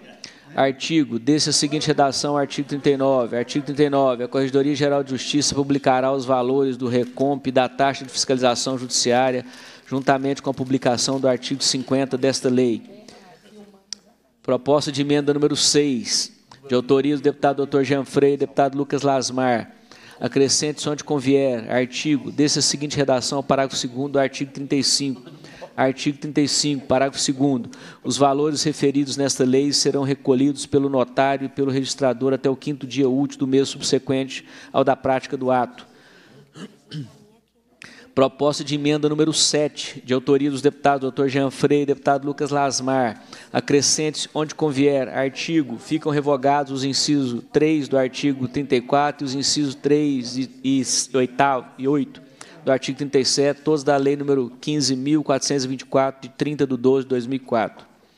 Proposta de emenda número 8, dos deputados Dr. Jean Freire, deputado Lucas Lasmar, acrescente onde convier, artigo, desse é o parágrafo 5 do artigo 2 da Lei 15.424, de 30 de 12 de 2004, a seguinte redação, parágrafo 5 o interino ou interventor designado para responder pelo serviço notarial e de registro terá retirada limitada a 90,25% do subsídio dos ministros do Supremo Tribunal Federal, devendo o excedente ao teto remuneratório ser recolhido ao fundo Recompe, MG Recivil, para pagamento de renda mínima do registro civil das pessoas naturais, conforme parágrafo 4 deste artigo. Proposta de emenda número 9, de autoria dos deputados Dr. Jean Freire e deputado Lucas Lasmar, acrescente onde convier, artigo, acrescenta ao artigo 2 da Lei 15.424 e 30 de 2 de 2004, os seguintes parágrafos 6 e 7 Artigo 2 parágrafo 6 o valor da renda mínima do interino que exerce a titularidade da serventia de registro civil das pessoas naturais não poderá ser inferior a 50% da renda mínima do delegatário. Parágrafo 7 o valor desta renda mínima poderá ser majorado ou reduzido para manter o equilíbrio financeiro do fundo responsável pelo seu pagamento. Proposta de emenda número 10, também de autoria dos deputados Dr. Jean Freire, deputado Lucas Lasmar. Acrescente-se onde convier, artigo, fica acrescentado o artigo 17 da Lei 15.424 de 2004, o seguinte parágrafo 4 Parágrafo 4 ao menos um dos meios de pagamento eletrônico será disponibilizado aos usuários sem nenhum custo adicional, desde que tal meio de pagamento não onere o notário ou registrador. Proposta de emenda número 11, acrescente-se onde convier. Artigo, acrescenta o artigo 26, parágrafo 3 Artigo 26, parágrafo 3 o Tribunal de Justiça do Estado de Minas Gerais integrará com o Recomp MG, em até 120 dias de publicação desta lei, o seu sistema eletrônico de recebimento do relatório circunstanciado, que contém a quantidade de atos praticados com os valores dos emolumentos cobrados, valor da taxa de fiscalização judiciária e valor depositado ao Recomp, proposta também do deputado Dr. Jean Freire e deputado Lucas Lasmar. Proposta de emenda número 12, também de autoria do deputado Dr. Jean Freire e deputado Lucas Lasmar acrescente-se onde convier. Artigo, acrescenta ao artigo 32 o seguinte parágrafo terceiro. Parágrafo terceiro, a ausência de depósito dos valores devidos à compensação prevista no artigo 31 ensejará a abertura automática de procedimento administrativo e sujeitará ao infrator a multa de 20% do valor devido cumulada com as seguintes penalidades. Inciso 1, dois meses sem recolhimento dos valores devidos à compensação ensejará ao infrator a penalidade de repreensão, caso seja concretizado dolo. Inciso 2, três a seis meses sem recolhimento dos valores devidos à compensação ensejará a suspensão das atividades de registrador ou notário por até 60 dias. Inciso 3, acima de seis meses ou qualquer fraude que vise lesar o fundo recompensa será a perda da delegação. Proposta de emenda número 13. Acrescente-se onde convier, artigo, fica criada a renda mínima do registro civil das pessoas naturais com incremento do excedente ao teto remuneratório destinado exclusivamente ao registro civil das pessoas naturais, podendo o valor desta renda mínima ser diferente da complementação da renda mínima das demais especialidades previstas nesta lei, tendo em vista essa nova fonte de recurso que faz jus ao valor diferenciado, conforme artigo 2 3 e 6 do provimento 81 de 2018 do CNJ. Parágrafo único. O interino ou interventor designado para responder pelo serviço notarial e de registro terá retirada limitada a 90,25% do subsídio dos ministros do Supremo Tribunal Federal, devendo o excedente ao teto remuneratório ser recolhidos ao fundo Recomp para pagamento de renda mínima do registro civil das pessoas naturais nos termos do provimento 81 barra 2018 do CNJ, proposta também de autoria dos deputados Dr. Jean Freire e deputado Lucas Lasmar. Proposta de emenda número 14. Acrescente onde convier. Artigo. Acrescenta a Lei 15.424, de 30 de dezembro de 2004, o artigo 18A.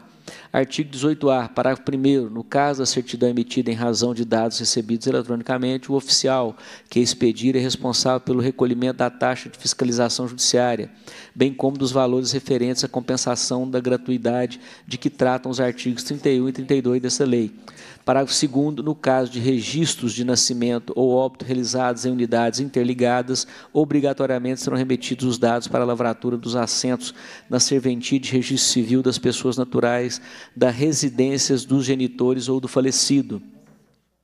Parágrafo 3 os notários deverão consultar central eletrônica própria previamente ao ato de reconhecimento de firma em autorizações para transferência em veículos automotores, aplicando-se o disposto no artigo 17 desta lei.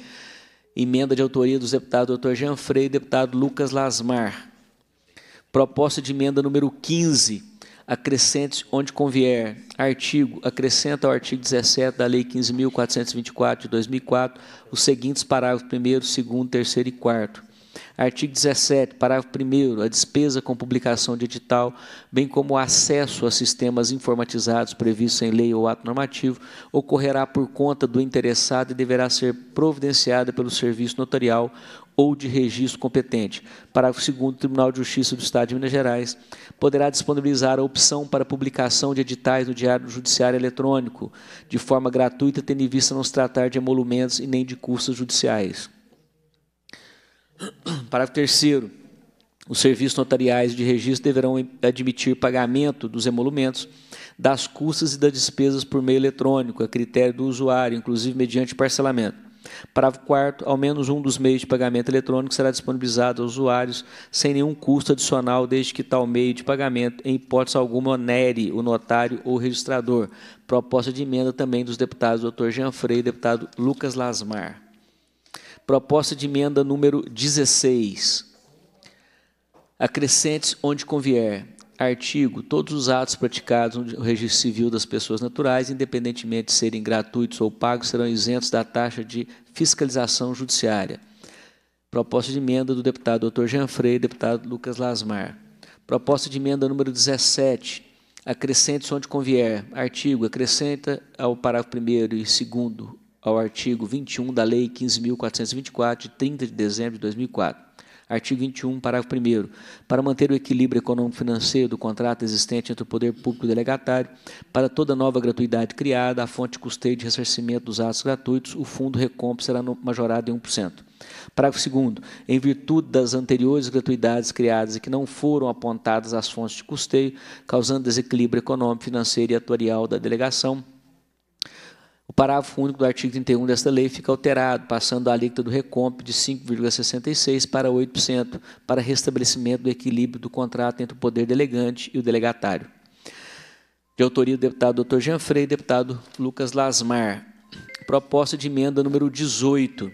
Acrescente-se onde convier, artigo, acrescenta ao parágrafo 3 ao artigo 26 da Lei 15.424, de 30 de dezembro de 2004. Artigo 26, parágrafo 3 o Tribunal de Justiça do Estado de Minas Gerais fará, em até 120 dias, a integração do seu sistema eletrônico de recebimento do relatório circunstanciado que contém a quantidade de atos praticados, com os valores dos emolumentos cobrados, valor da taxa de fiscalização judiciária e valor depositado ao Recomp, com o sistema eletrônico do Recomp, para que haja maior eficiência na prestação e fiscalização dos depósitos efetuados pelos notários e registradores ao Fundo de Compensação dos Atos Gratuitos do Registro Civil das Pessoas Naturais, Proposta de emenda dos deputados Dr. Jean Freire e deputado Lucas Lasmar. Proposta de emenda número 19, acrescente-se onde convier. Artigo, acrescenta ao parágrafo 3 o parágrafo 3 ao artigo 32. Artigo 32, parágrafo 3 o não depósito dos valores devidos à compensação prevista no artigo 31 ensejará a abertura automática de procedimento administrativo e sujeitará ao infrator as seguintes penalidades. Inciso 1. Multa de 20% do valor devido cumulada com outra penalidade que obedecerá ao que segue. Letra A. O não depósito de um mês dos valores devidos à compensação ensejará ao infrator a penalidade de repreensão, caso seja caracterizado dolo. Letra B. O não depósito de dois até três meses ensejará a suspensão das atividades de registrador ou notário por até 60 dias. Letra C, o não depósito de mais de três meses ou qualquer fraude que vise lesar o fundo recompensa ensejará na perda da delegação. Proposta de emenda de autoriza o deputado Dr. Jean Freire e o deputado Lucas Lasmar. Proposta de emenda número 20, acrescente onde convier. Artigo, acrescenta inciso 2 ao artigo 34 da Lei número 15.424, de 30 de dezembro de 2004. Artigo 34, inciso 2, complementação de receita bruta mínima mensal das serventias deficitárias da seguinte forma: letra A, serventias dos distritos, o valor de até mil ufengues. Letra B, serventia dos municípios não sedes de comarcas, o valor de até 1.500 ufengues. Letra C, serventias das sedes das comarcas, o valor de até 2.000 ufengues. De autoria do deputado Dr. Jean Freire, deputado Lucas Lasmar.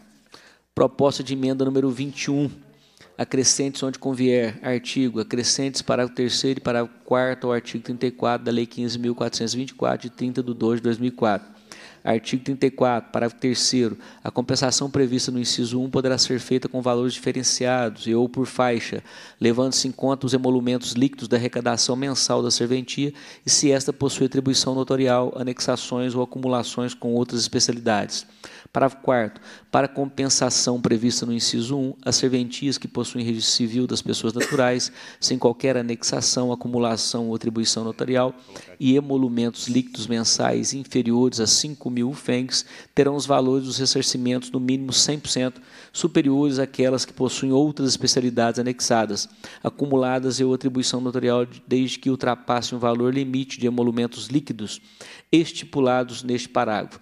Proposta de emenda também dos deputados Dr. Jean Freire e deputado Lucas Lasmar.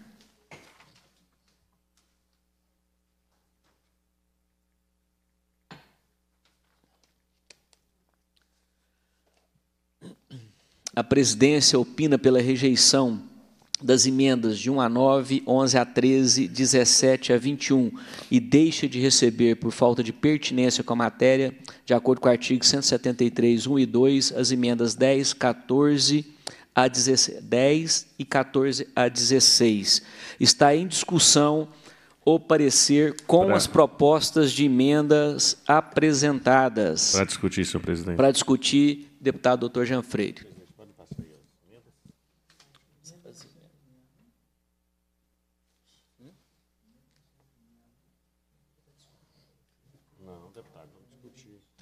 Discutir, depois a gente caminha. Vamos discutir primeiro, depois, discutir, depois a gente caminha. É. Primeiro, é... primeiro, presidente, as pessoas que me conhecem nessa casa sabem a maneira que eu trato a política. É... Deputado João Magalhães, eu lhe agradeço por muitos momentos nessa casa, Vossa Senhoria fazer conciliação, e lhe agradeço pelos votos que em muitos momentos Vossa Excelência deu a projetos. Acho que a maioria absoluta dos meus projetos, Vossa Excelência votou a favor. Deputado Arnaldo, eu lhe agradeço imensamente por ter votado, se não na totalidade, na maioria dos meus projetos de leis que apresentei nessa casa. E eu assim o fiz com os que Vossa Excelência apresentou e que os deputados João também apresentou.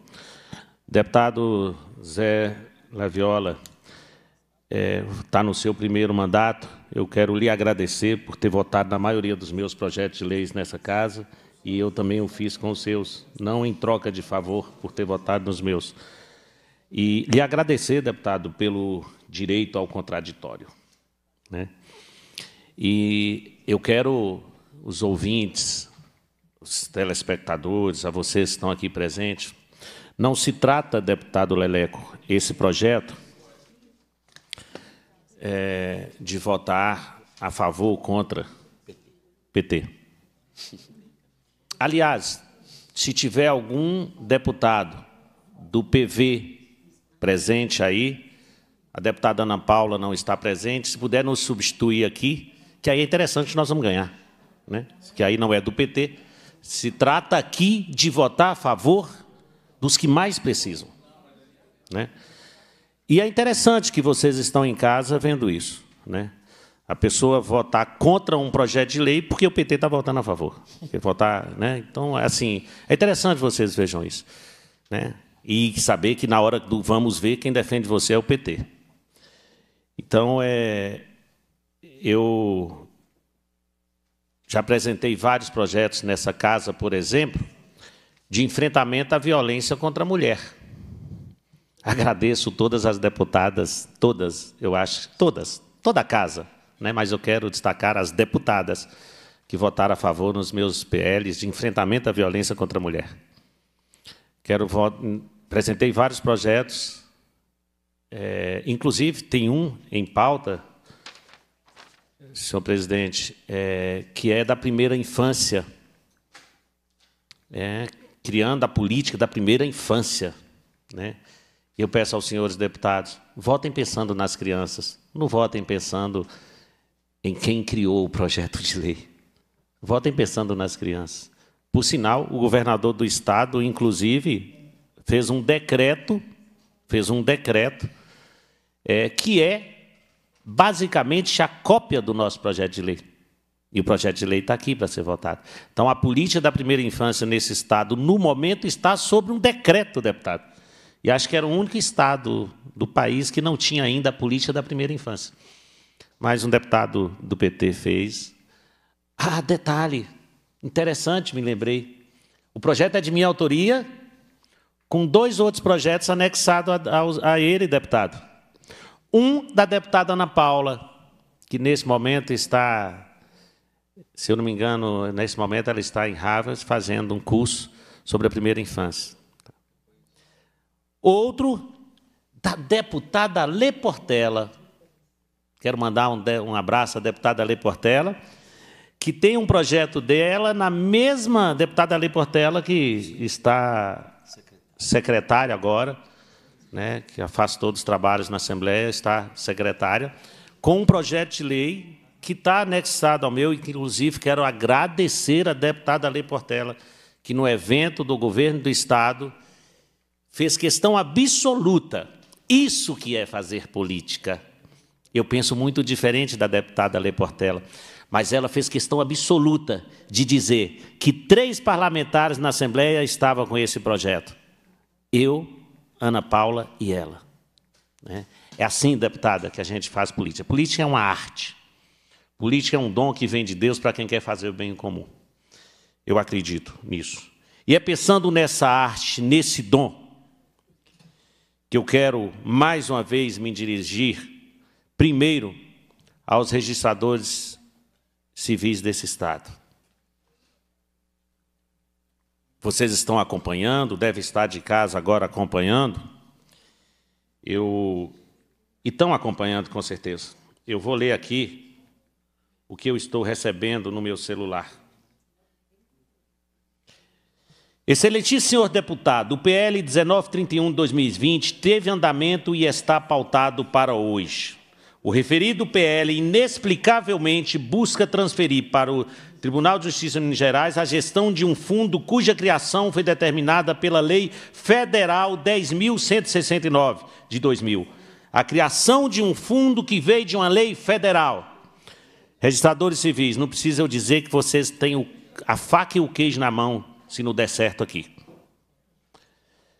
Para a sustentabilidade do registro civil. Não se pode conceber da intervenção de um ente público na gestão do referido fundo que, repita-se, e é do registro civil, e por ele deve ser gerido, como vem sendo desde a publicação da Lei 15.424 de 2004, ou seja, há mais de 20 anos. Estou recebendo aqui. Na redação do PL seria criado um conselho gestor no qual o registro civil teria apenas um membro, sendo colocadas outras especialidades que nada têm a opinar sobre um fundo que é do registro civil. O PL ainda limita os valores que os registradores têm direito a receber, ou seja, a classe mais empobrecida dos serviços ficará com, ficará com valores ainda mais restritos. A, a classe mais empobrecida dos serviços ficará com valores ainda mais restritos. Mas porque o PT vota a favor, eu voto contra. É por isso, excelentíssimo senhor deputados e deputadas, que todos os registradores civis de Minas Gerais, mais de 1.200 registradores, vêm pedir esclarecimento a Vossa Excelência que não aprove o referido PL. Respeitosamente. Por isso, registradores civis desse Estado, quando qualquer um de nós, deputados, chegar em sua cidade, formos fazer reuniões, Vá lá, participe. Pergunte em público, o deputado, quando estava votando o PL 1931, como votou Vossa Excelência? Como foi que votou Vossa Excelência? Eu fico imaginando,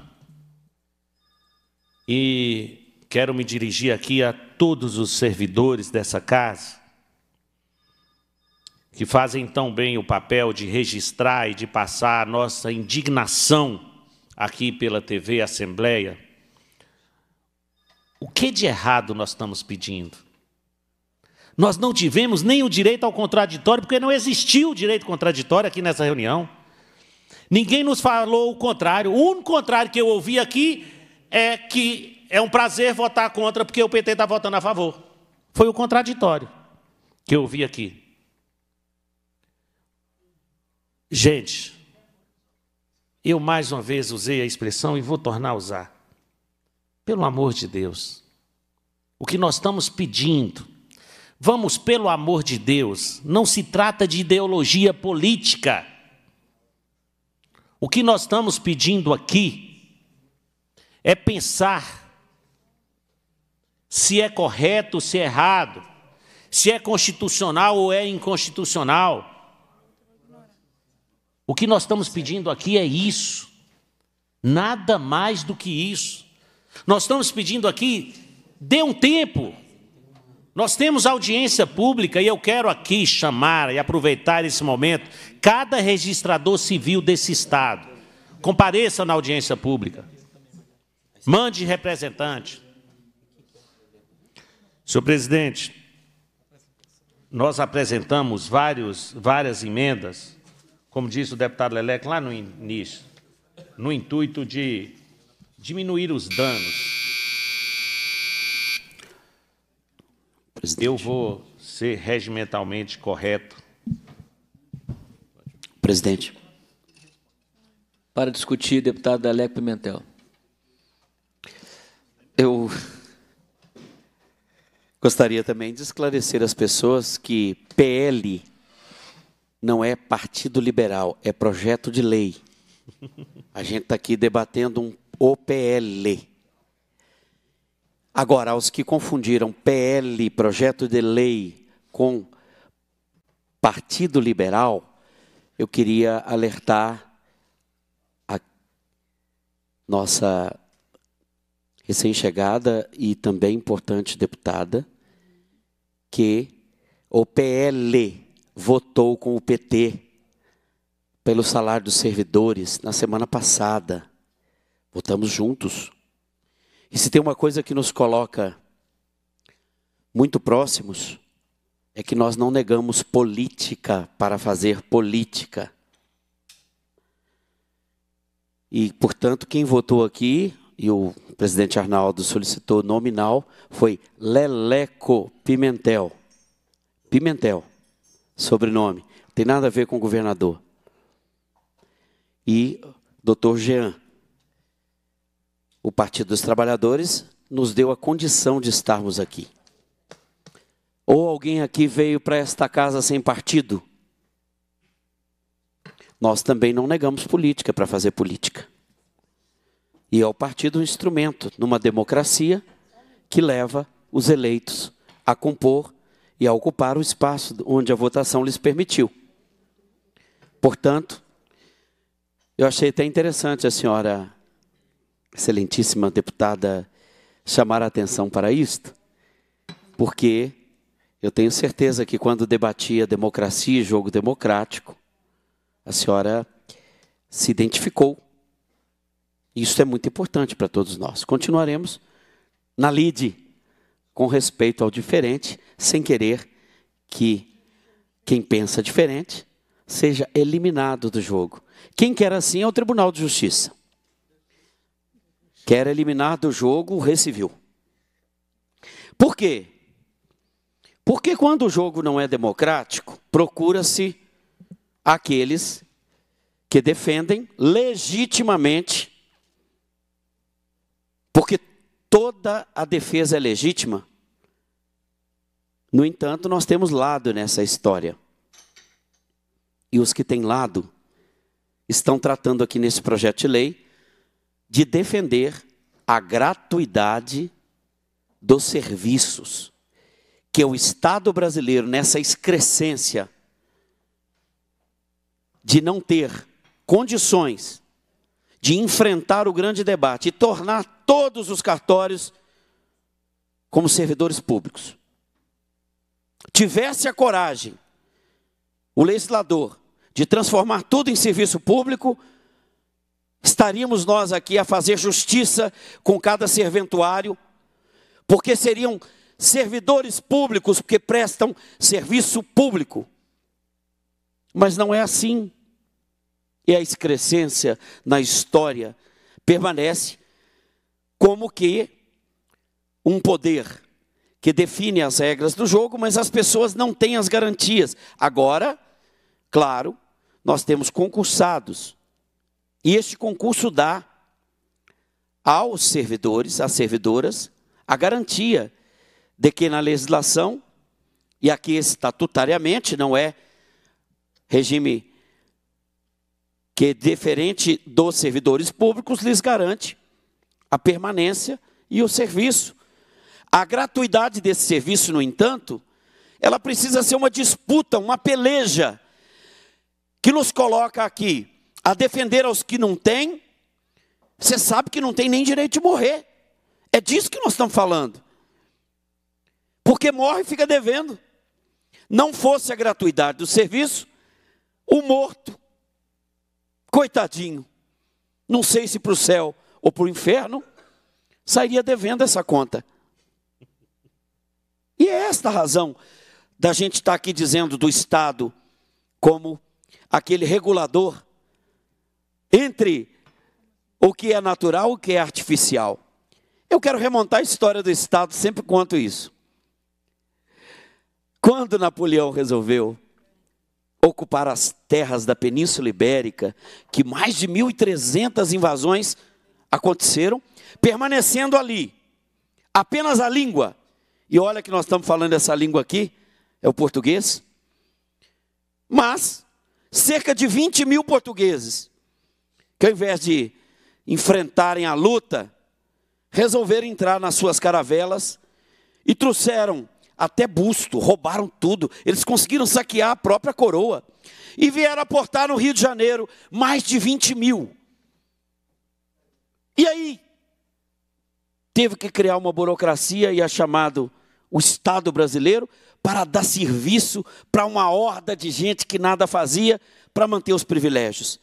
Esse é o Estado brasileiro criado para manter os privilégios da aristocracia portuguesa, que nem encarar Napoleão teve coragem. Entre as ordenações filipinas e o que a gente vive no Estado jurídico, porque são coisas distintas, o mundo ibérico e o mundo anglo-saxão têm naturezas distintas de ver a lei e de tratar o ordenamento jurídico. E o que sobrou para nós foi esta cultura, onde se transforma o que é direito em mercadoria e negócio. Por isso, nascer, por isso, morrer, significa ter ver ao Estado, porque sem pagar 5,60 ou 2.529 para o Estado, não se mantém o privilégio daqueles que sobrevivem do Estado. E aqui tem uma distinção, porque nós defendemos que o Estado brasileiro não deveria ter o limite de 52%, como é o debate que estamos tendo aqui no Estado, para poder aí ter um problema é, é, de contratação, porque os países que evoluíram já têm na vida pública, o Estado tem como trabalhadores um percentual muito maior, chegando a 70%, 80%. Eu quero comparar rapidamente a social-democracia do Estado norueguês, para dizer que as riquezas do Estado estão à disposição para que nenhum cidadão passe fome, para que nenhum cidadão morra indigente ou em situação de rua. E é por esta razão que a nossa defesa aqui nesta comissão se dá, para que a gratuidade, seja mantida e ampliada no serviço público desta excrescência chamada cartório, mas enquanto ela existir, que ela faça uma distribuição equitativa e justa dos recursos que são arrecadados e afinal não são de pertencimento de um deputado lobista que vem fazer a mudança da regra do jogo num projeto de lei na Assembleia Legislativa e que de repente vira também a defesa de dois blocos governistas da casa. E aqui vocês viram que não se trata de PL e PT, mas de quem é governo e de quem não é governo.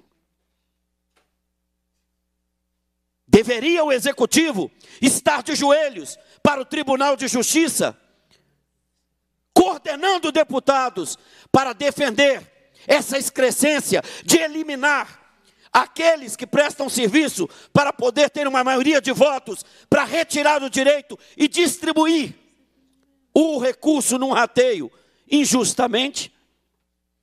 Eu diria que não. E é claro que todos notaram que o início do nosso debate não tinha tanta eloquência ou valor da defesa como veio nessa minha fala ao lado aqui do Dr. Jean, sem que eu dirija uma palavra de desrespeito a qualquer parlamentar, porque o meu voto é do tamanho do voto de quem tem oito, seis, três, quatro, ou até da deputada que pela primeira sessão e na primeira vez tem oportunidade de voltar com a sua consciência. Eu vi a deputada Chiara ser defenestrada nos seus direitos na semana passada, quando ela, discordando do posicionamento do governo, resolveu enfrentar aqueles que a fariam exposição. Eu disse que não tinha dó, repito, porque cada parlamentar aqui tem o dever de saber onde põe o dedo e com quem anda. E isto a gente espera de qualquer parlamentar, que não haja como bando, como aquela cultura de massa raivosa, que vocifera, que espanta, que quer o extermínio, mas que quer contribuir para que a vida das pessoas, sobretudo dos mais pobres, que dependem do Estado, e aqui nós convergimos de novo, porque nós estamos aqui a defender o Estado como regulador, o Estado como distribuidor. Por isso nós defendemos que o Estado não esteja nesta disposição aqui, lembrando das dos poderes, e o Estado é distinto dos poderes, que os poderes não estejam de joelhos um para os outros, mas que conservem este equilíbrio para que as relações sejam mantidas e que a gente não tenha a sobreposição por força ditatorial para que o outro diferente morra.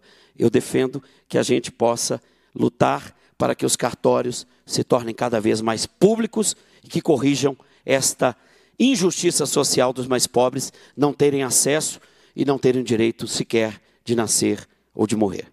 Obrigado, presidente. Para encaminhar, a deputada Amanda. Senhor presidente, hoje, quando vejo que a esquerda discorda de mim, vejo que estou fazendo o trabalho certo. E os excelentíssimos deputados, antes mesmo que eu chegasse à Assembleia, começaram a distorcer as minhas falas e colocar fora de contexto. Quando cheguei aqui, fizeram provocações do discurso e eu disse que é um prazer votar em discordância com o PT. E eu reitero, sim, é um prazer votar em discordância com o PT, mas não significa que em todas as pautas nós votaremos de maneira divergente. Exemplo, defesa da mulher, né, defesa dos animais. No entanto, quando eu discordo desse partido, de um ex-condenado que hoje está na presidência da República, de um ex-governador que deixou um rombo de 28 bilhões aqui no estado de Minas Gerais, Governador Zema reconstruiu esse estado. Governador Zema levou os mineiros adiante. E agora a gente tem novamente esse mesmo partido que deixou um rombo aqui de 28 bilhões atrapalhando a vida do dos mineiros, né? Porque eh, se opondo a um governador que tanto faz por Minas Gerais. Então, assim, é uma honra, né? É um prazer votar em discordância com o PT, eu reitero. Não significa que em todas as pautas votaremos de maneira divergente, mas no geral é isso mesmo. Está em votação o requerimento. Senhor presidente, pela ordem, é, tem como encaminhar? Não, esse aqui já. Não, é do requerimento. Requerimento. na discussão. Para encaminhar. Perdão. Perdão, retificando. Nós estamos na discussão, encerramos esse, esse momento e agora tenho encerra essa discussão e a presidência informa o recebimento do ofício de requerimento assinado pelo doutor, deputado doutor Jean Freire, solicitando a votação nominal do requerimento que solicita o adiamento de votação do projeto de lei 1931 de 2020. Para encaminhar, Para encaminhar, senhor presidente. deputado doutor Jean Freire. Aqui agora nós vamos entrar nos requerimentos. É, é, é porque eu estava aqui, senhor presidente, eu estava me lembrando aqui da. Que, em que governo nós estamos? Qual é a dívida do Estado hoje? Foi falado em 28 milhões. né? E hoje é de quanto? 170. Uma continha fácil de fazer, né? Uma janta para nós. Mas vamos lá, vamos voltar ao projeto. Vamos voltar ao projeto de lei e nós vamos ficar aqui. Quanto tempo? Sabemos que somos minoria, deputado. Não tem problema não. tá? Nós somos minoria. Uma minoria aguerrida, uma minoria que está, de uma certa maneira, independente do resultado aqui, deputado Leleco, não sou eu, não é você, não é o Partido dos Trabalhadores, não é o Bloco Democracia e Luta que sai derrotado. É, de uma certa maneira, nós temos certeza absoluta que se nós tivéssemos chegado aqui simplesmente e votasse contra, que é o que nós vamos fazer, tenho certeza, se nós simplesmente tivéssemos feito isso, ninguém, vocês que estão aí assistindo, talvez alguns servidores dessa casa, que o pessoal da comunicação, que está filmando, fotografando, servidores, ou muitos servidores já conhecem o projeto, mas somente você que está em casa não ia saber desse absurdo. Então, de uma certa maneira, essa nossa obstrução legítima que fazemos serve para a gente denunciar isso que está sendo pautado aqui. Ninguém ia saber. Sabe, Leleco, você lembrou aí a deputada Kiara. Somos de posições opostas, né? mas que você lembrou muito bem e que nós, do Partido dos Trabalhadores, do Bloco Democracia e Luta, defendemos a semana passada. Né? É, sabe por quê? É bom que cada deputado saiba que vários governos, tá? O deputado, a deputada, é muito bom enquanto está ali. Sim, senhor. Ok. Vota a favor. Vota. Na hora que resolve se rebelar, na hora que resolve ver, e não estou dizendo aqui se votou a favor de um projeto de governo, votou certo ou errado, não, não é isso. Mas na hora que vira e fala assim, não, isso aqui eu não concordo. Isso aqui não dá. Aí esse deputado é colocado de lado. E quero que fique bem claro, fique bem claro. Qualquer deputado, qualquer deputada, seja do PL, seja do PT, do, P, do PSDB, do Novo. O Novo não tem nenhum deputado aqui, né, deputado? É, acabou. É. Ah, o Laviola. o Laviola olhou na hora. É porque os três que tinham os grandes colegas deputados aqui, viu, Laviola? Mas seja você, deputado Laviola, seja qualquer um de vocês, nós vamos estar aqui fazendo essa defesa quando a gente sentir que você foi no seu direito da discordância, você foi, de uma certa maneira, é, ferido, né? porque você tem que pensar igual. Olha, deputado, eu estou no nosso terceiro mandato. Eu votei, não foi um, dois projetos que veio do meu governo na época para cá, não. Votei contra. Votei contra. Projetos que, às vezes, a minha base. Não é por aí que eu acho que a política é feita. Eu não tenho que votar a favor porque é o meu governo, não. Não é para isso que eu fui eleito, não.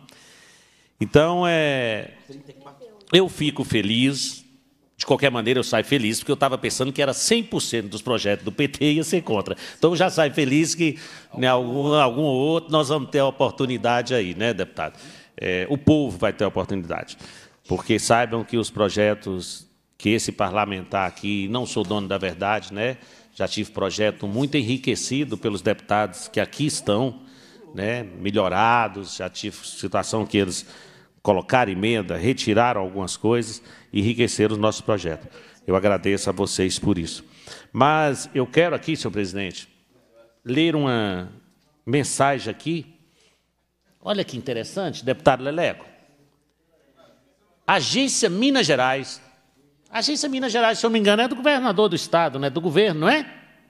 Olha que interessante. Minas reduz subregistro de nascimento para o menor índice da história. Olha que legal. Vou repetir. Do governo, né, ou seja, da base de Vossas Excelências. Minas reduz subregistro de nascimento para o menor índice de história, da história. Programa do governo de Minas que facilita a emissão de certidões de nascimento já beneficiou mais de 410 mil mineiros e ajuda o índice de estado a ficar abaixo da média brasileira. O programa Unidades Interligadas de Registro Civil, o IS, contribui para essa conquista histórica. Graças a quem? Principalmente aos registradores civis. Parabéns. Parabéns a vocês. Na agência do governo do Estado. Né? Isso é interessante, porque eu gostaria, inclusive, de ouvir do executivo, aqui, Seria interessante o executivo, na audiência pública, dizer para todos nós aqui o que, que acha disso. Não é interessante o executivo dizer? Não era interessante a gente pensar assim, oh, colegas deputados, nós somos membros desta casa. Não é interessante, colegas deputados, a gente pensar assim, que Tá bom, vai passar esse conselho, passou o conselho. Não era interessante ter membros dessa casa nesse conselho? Olha a importância que se dá a essa casa. Não era interessante? Não era interessante ter membros do poder executivo nesse conselho? Só questionamentos que eu faço. Nós estamos aqui tentando enriquecer, né? Não era interessante ter membros do Tribunal de Contas nesse conselho? E aí eu perguntaria aos registradores civis: vocês são contra que no conselho tenha membros do Tribunal de Contas? Ou seja, gente, pelo amor de Deus, não se trata de partido político. E eu posso estar errado. Eu estou pedindo só o seguinte: me convençam. Me convença que eu estou errado. Fala, deputado, você está errado. É, o que está dizendo aí, que só tem um do registro civil, não é verdade. Escreveu, mas nós erramos. Vamos ver isso aí. Mas está escrito. Está aqui. Eu não estou inventando isso. Olha, deputado, é, o que nós escrevemos aí, nós erramos, não é, a maioria não é do Tribunal de Justiça, da Corregedoria, não está errado. Mas não é isso. Poderiam dizer assim, olha, deputado, aquilo que nós votamos no final do ano passado, nós erramos e queria mudar agora. E eu fico me perguntando, inclusive, deputado, por que uma mudança feita no final do ano e se os PLs fossem discutidos realmente, né, e discussão envolve eu sou contra, falo, e alguém que é a favor fala. Isso é discussão. Na verdade, não está tendo discussão. Né? Vamos falar a verdade. Estamos nós dois aqui defendendo uma tese e não está tendo a oposição a essa tese. Então, não está tendo. Né? Eu queria pelo menos isso. Queria que alguém chegasse aqui e falasse: não, Jean, você entendeu errado. Aí talvez, quantas vezes eu entrei, deputado Leleco, para o plenário, para uma comissão, entendendo um, um projeto de um jeito, e nós suspendemos reunião, olhamos, não, isso aqui é assim, vamos fazer isso, vamos fazer aquilo. A gente tem direito também, deputado, da, por ser do PT, a gente tem direito também? Eu gostaria, viu? João sempre. João sempre. João sempre. Olha, João, eu já te defendi muitas vezes, viu, João? Eu aceito, não tem problema não. Mas, é, Você vê, a gente brinca, deputado, mas até isso, com muita sinceridade, viu, deputado Arnaldo e deputado João, eu falo, a gente brinca aqui, mas até isso é salutar, é, é, é, é muito saudável isso na política, né? Eu tenho certeza que eu vou sair daquela porta, eu, deputado Arnaldo, deputado Zé Laviola, deputado. Muito obrigado, deputado. Isso eu adoro sua vida, para você ficar mais. É. Muito obrigado, deputado. Queria um dia que todos os contraditórios tivessem isso, né? Porque, afinal de contas, a política não é lugar de dividir as pessoas. A política é lugar de unir as pessoas.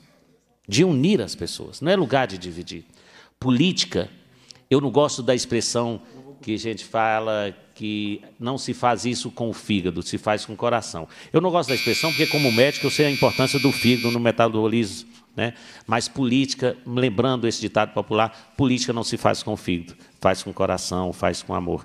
E um gesto de amor, terminando a minha fala, deputado, um gesto de amor que eu peço a cada deputado, a deputada aqui presente, é que nós possamos rever essa situação. Veja bem, gente, eu vou repetir. Eu não estou pedindo votar contra, eu só estou pedindo, vamos dar um tempo, vamos fazer uma audiência pública, e aí a gente pode esclarecer todas essas dúvidas e eu posso estar errado.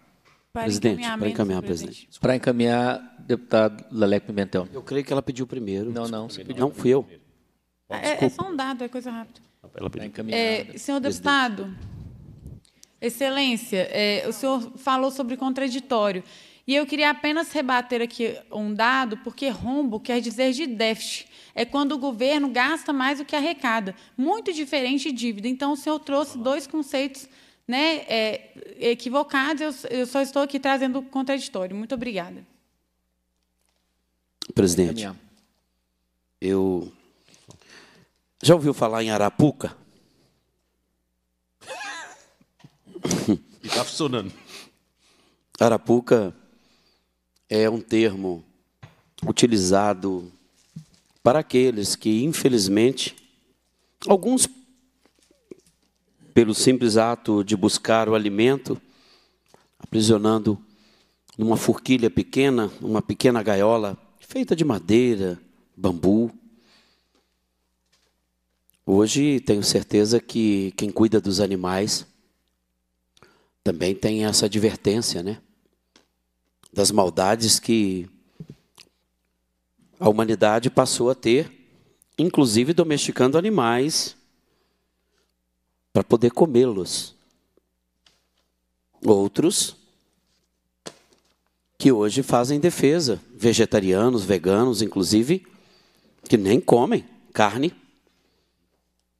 mas que buscam também numa relação de equilíbrio com a mãe natureza, a defesa. Então, para estas pessoas, animais também têm direitos. Não é?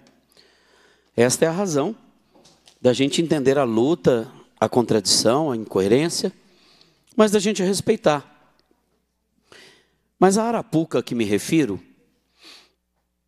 é a arapuca que vai aprisionando a alma.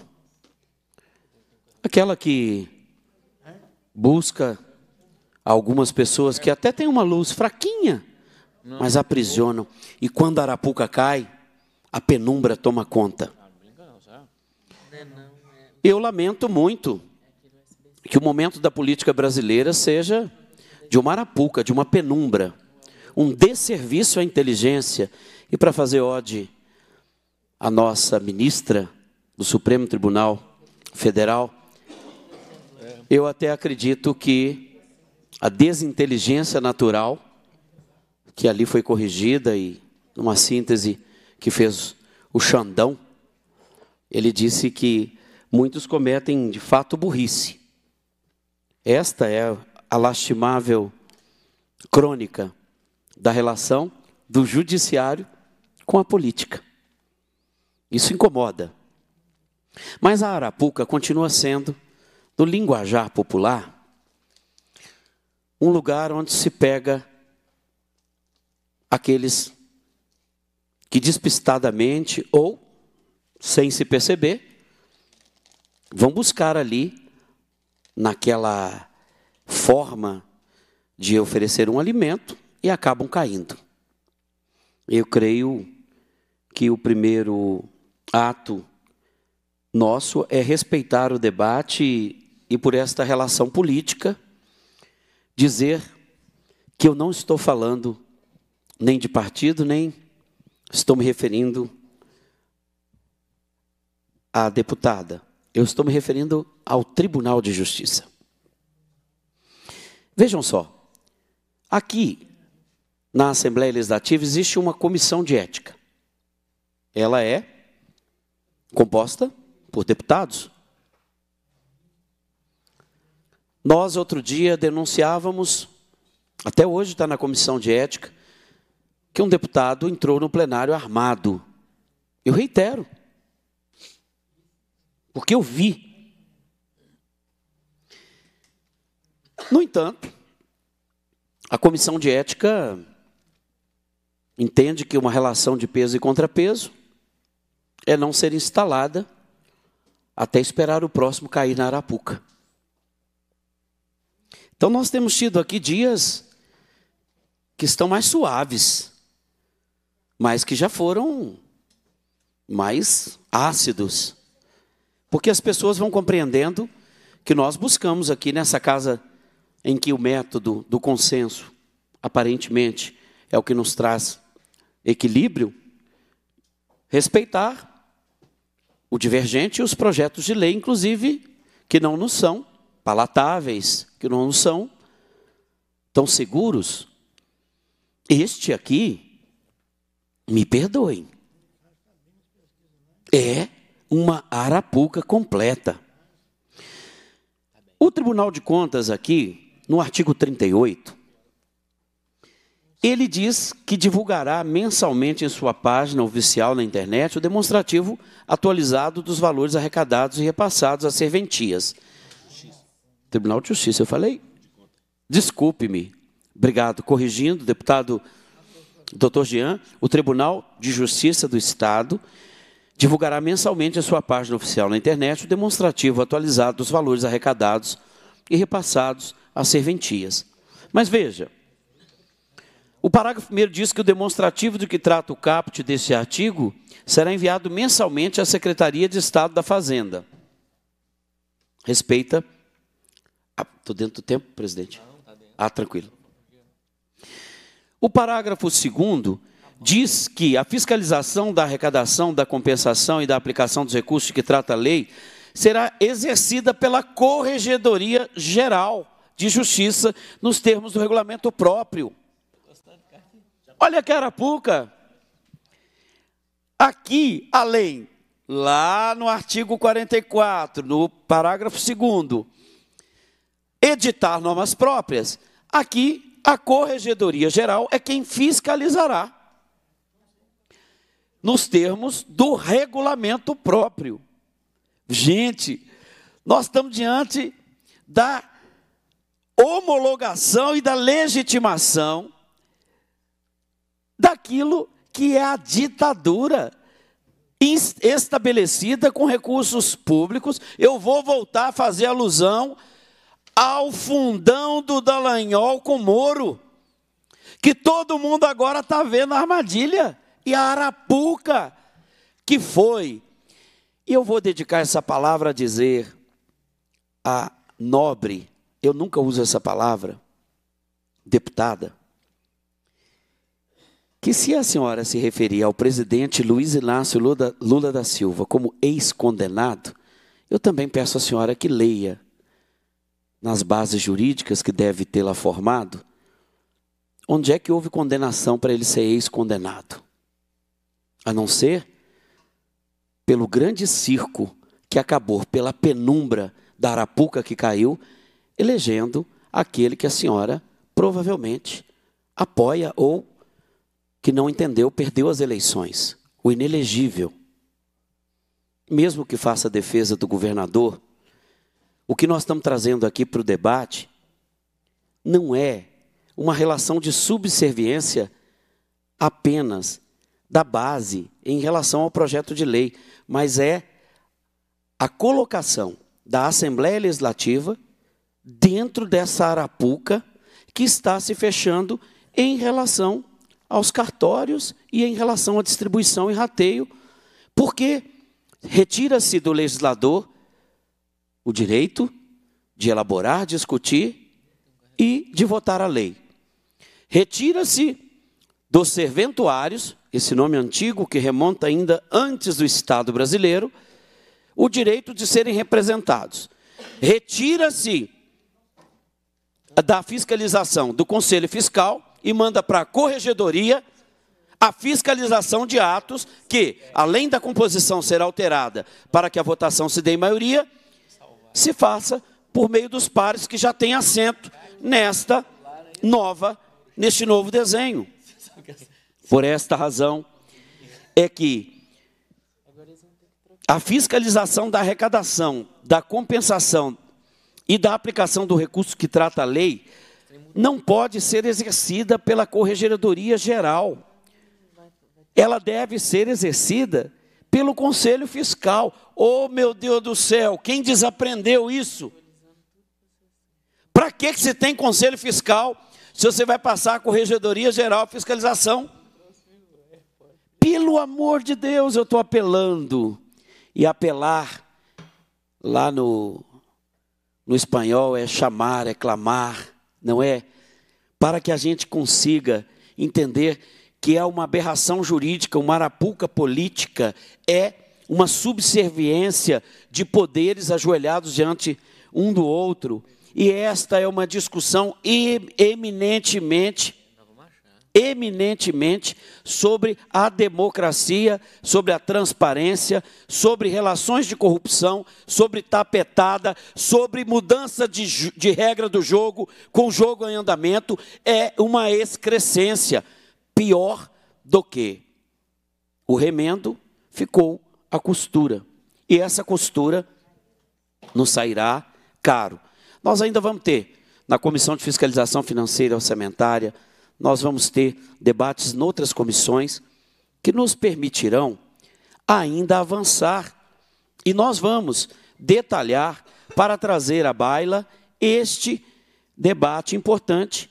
Eu vim hoje também porque fiz a defesa que fiz no plenário de matéria afeta ao debate. Vim porque estudei e tenho feito defesas, embora eu ainda diga que é uma excrescência do Estado brasileiro a manutenção desse serviço como um serviço que não seja público, de qualidade, garantindo aos mais pobres o seu acesso. Por esta razão, continuaremos a encaminhar. Agradeço ao presidente, devolvendo assim a palavra. A presidência vai colocar em votação o requerimento que solicita que seja feita a votação nominal do requerimento que solicita o adiamento de votação do projeto de lei 1931 de 2020, de autoria do deputado doutor Jean Freire. Está em votação o requerimento. Os deputados que o aprovam permaneçam como se encontram. O requerimento está aprovado. Voltou com a gente. Chega à mesa requerimento de autoria do deputado doutor Jean Freire, que solicita que seja adiada a votação sobre o projeto de lei número 1931 de 2020, nos termos do artigo 267 do Regimento Interno. Para encaminhar, para encaminhar deputado doutor Jean Freire. Senhor presidente, é, é mais uma tentativa. Deputado Leleco, eu me lembro de uma reunião que nós estávamos, Vossa Excelência, na parte de baixo, e Vossa Excelência falou água, como que é o ditado? Água, água mole, pedra dura, tanto bate. Até que, até que fica batendo. Continua batendo. batendo.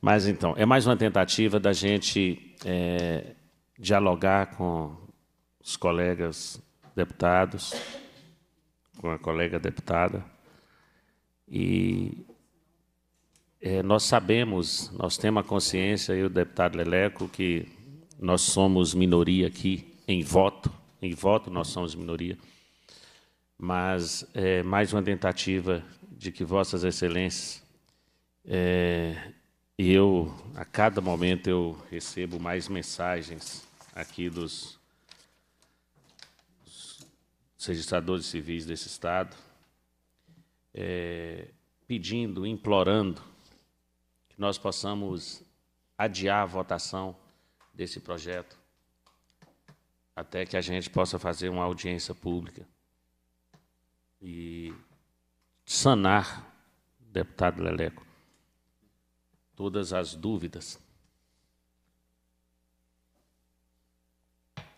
acerca desse PL. Não é justo que tamanha mudança venha a ser feita no Recomp e que a gente não dê o direito das pessoas serem ouvidas. Que a gente não dê o direito do registrador civil lá do interior, lá do norte de Minas, do nordeste de Minas, da zona da mata, dos daqui da Assembleia, da, da, região metropolitana, porque na verdade nem os daqui estão sendo ouvidos, né? os que estão aqui perto, que estão cada dia pedindo, clamando, nós queremos só ser ouvidos, escutados. É só isso que nós queremos. Pensem, colegas deputados, num projeto de lei de autoria de Vossas Excelências, que a gente pudesse estar tá recebendo esse pedido de vocês. Jean, deputado Leleco, na comissão, por exemplo, que nós fazemos parte, né, deputado Leleco, participação popular, e que vocês chegassem lá para a gente e pedissem qualquer PL. Nós queríamos ouvir as pessoas. Nós queremos discutir as pessoas. É, nesse momento, eu não sei, se puder, é, eu gostaria da nossa assessoria de, é, poliana ou a consultoria desse uma olhada para mim, se é possível aí, é, quantas pessoas estão comentando sobre esse PL nas redes sociais da Assembleia Legislativa? Quantas pessoas estão nos ouvindo falar, porque se hoje pela manhã era 1.600 e talvez sem ter ainda o entendimento do projeto no seu completo, eu acho que nós cumprimos a nossa missão, estamos cumprindo a nossa missão, que é esclarecer. E eu lhe confesso, deputado Leleco, para mim isso não é me diminuir, eu lhe confesso que esse exercício que nós estamos aqui fazendo, como qualquer outro exercício, nos prepara mais, nos faz entender mais. Né? Eu, ontem à noite, ao tomar conhecimento que o PL estaria na pauta, eu e a Poliana ficamos até mais tarde no gabinete, dialogando, conversando, ouvindo as pessoas que são diretamente afetadas sobre a SPL, em relação à SPL, afetadas por SPL.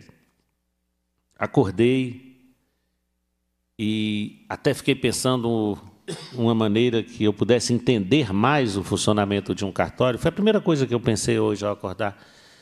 Eu pensei, é, os olhos vêm melhor, melhor onde os pés pisam, que eu deveria a melhor maneira de entender é talvez acompanhar um multirão. E eu quero aqui pedir aos registradores civis, o dia que vocês fizerem um multirão por esse estado, para confecção de documentos, me chamem. Eu quero ir. Seja onde for. Seja na minha região, seja em outra região, eu quero ir. Seja aqui na região metropolitana, eu quero ver de perto. Que aí eu vou ter mais a sensibilidade do trabalho que vocês fazem. Eu teria mais sensibilidade ainda se eu fosse uma pessoa que não tivesse a condição de pagar um documento, de entrar a um cartório Eu teria mais sensibilidade ainda se tivesse perdido tudo na minha casa, meus documentos todos numa enchente, como os nossos irmãos do Rio Grande do Sul. E no acolhimento, num abrigo, eu fosse visitado por registradores civis, fazendo ali certidão de nascimento, identidades, certidão de casamento. Aí essa sensibilidade, aí eu seria, eu saberia mais ainda o que é esse trabalho. Eu saberia mais ainda o que é esse trabalho. Por isso, deputado Arnaldo, que não é de pirraça, não sou menino pirracento, que nós estamos aqui reforçando essa discussão. Eu, como Vossas Excelências, eu também tinha minhas outras agendas agora à noite. Agendas de mandato, agendas pessoais, mas para mim é mais importante estar aqui discutindo e aprendendo. Eu tenho certeza que eu entrei nessa sala às 17h30 e saio daqui entendendo mais sobre esse PL. Mesmo que não apareceu ninguém aqui para me explicá-lo. Para dizer, não, deputado, a nossa ideia não é essa, o senhor está entendendo errado.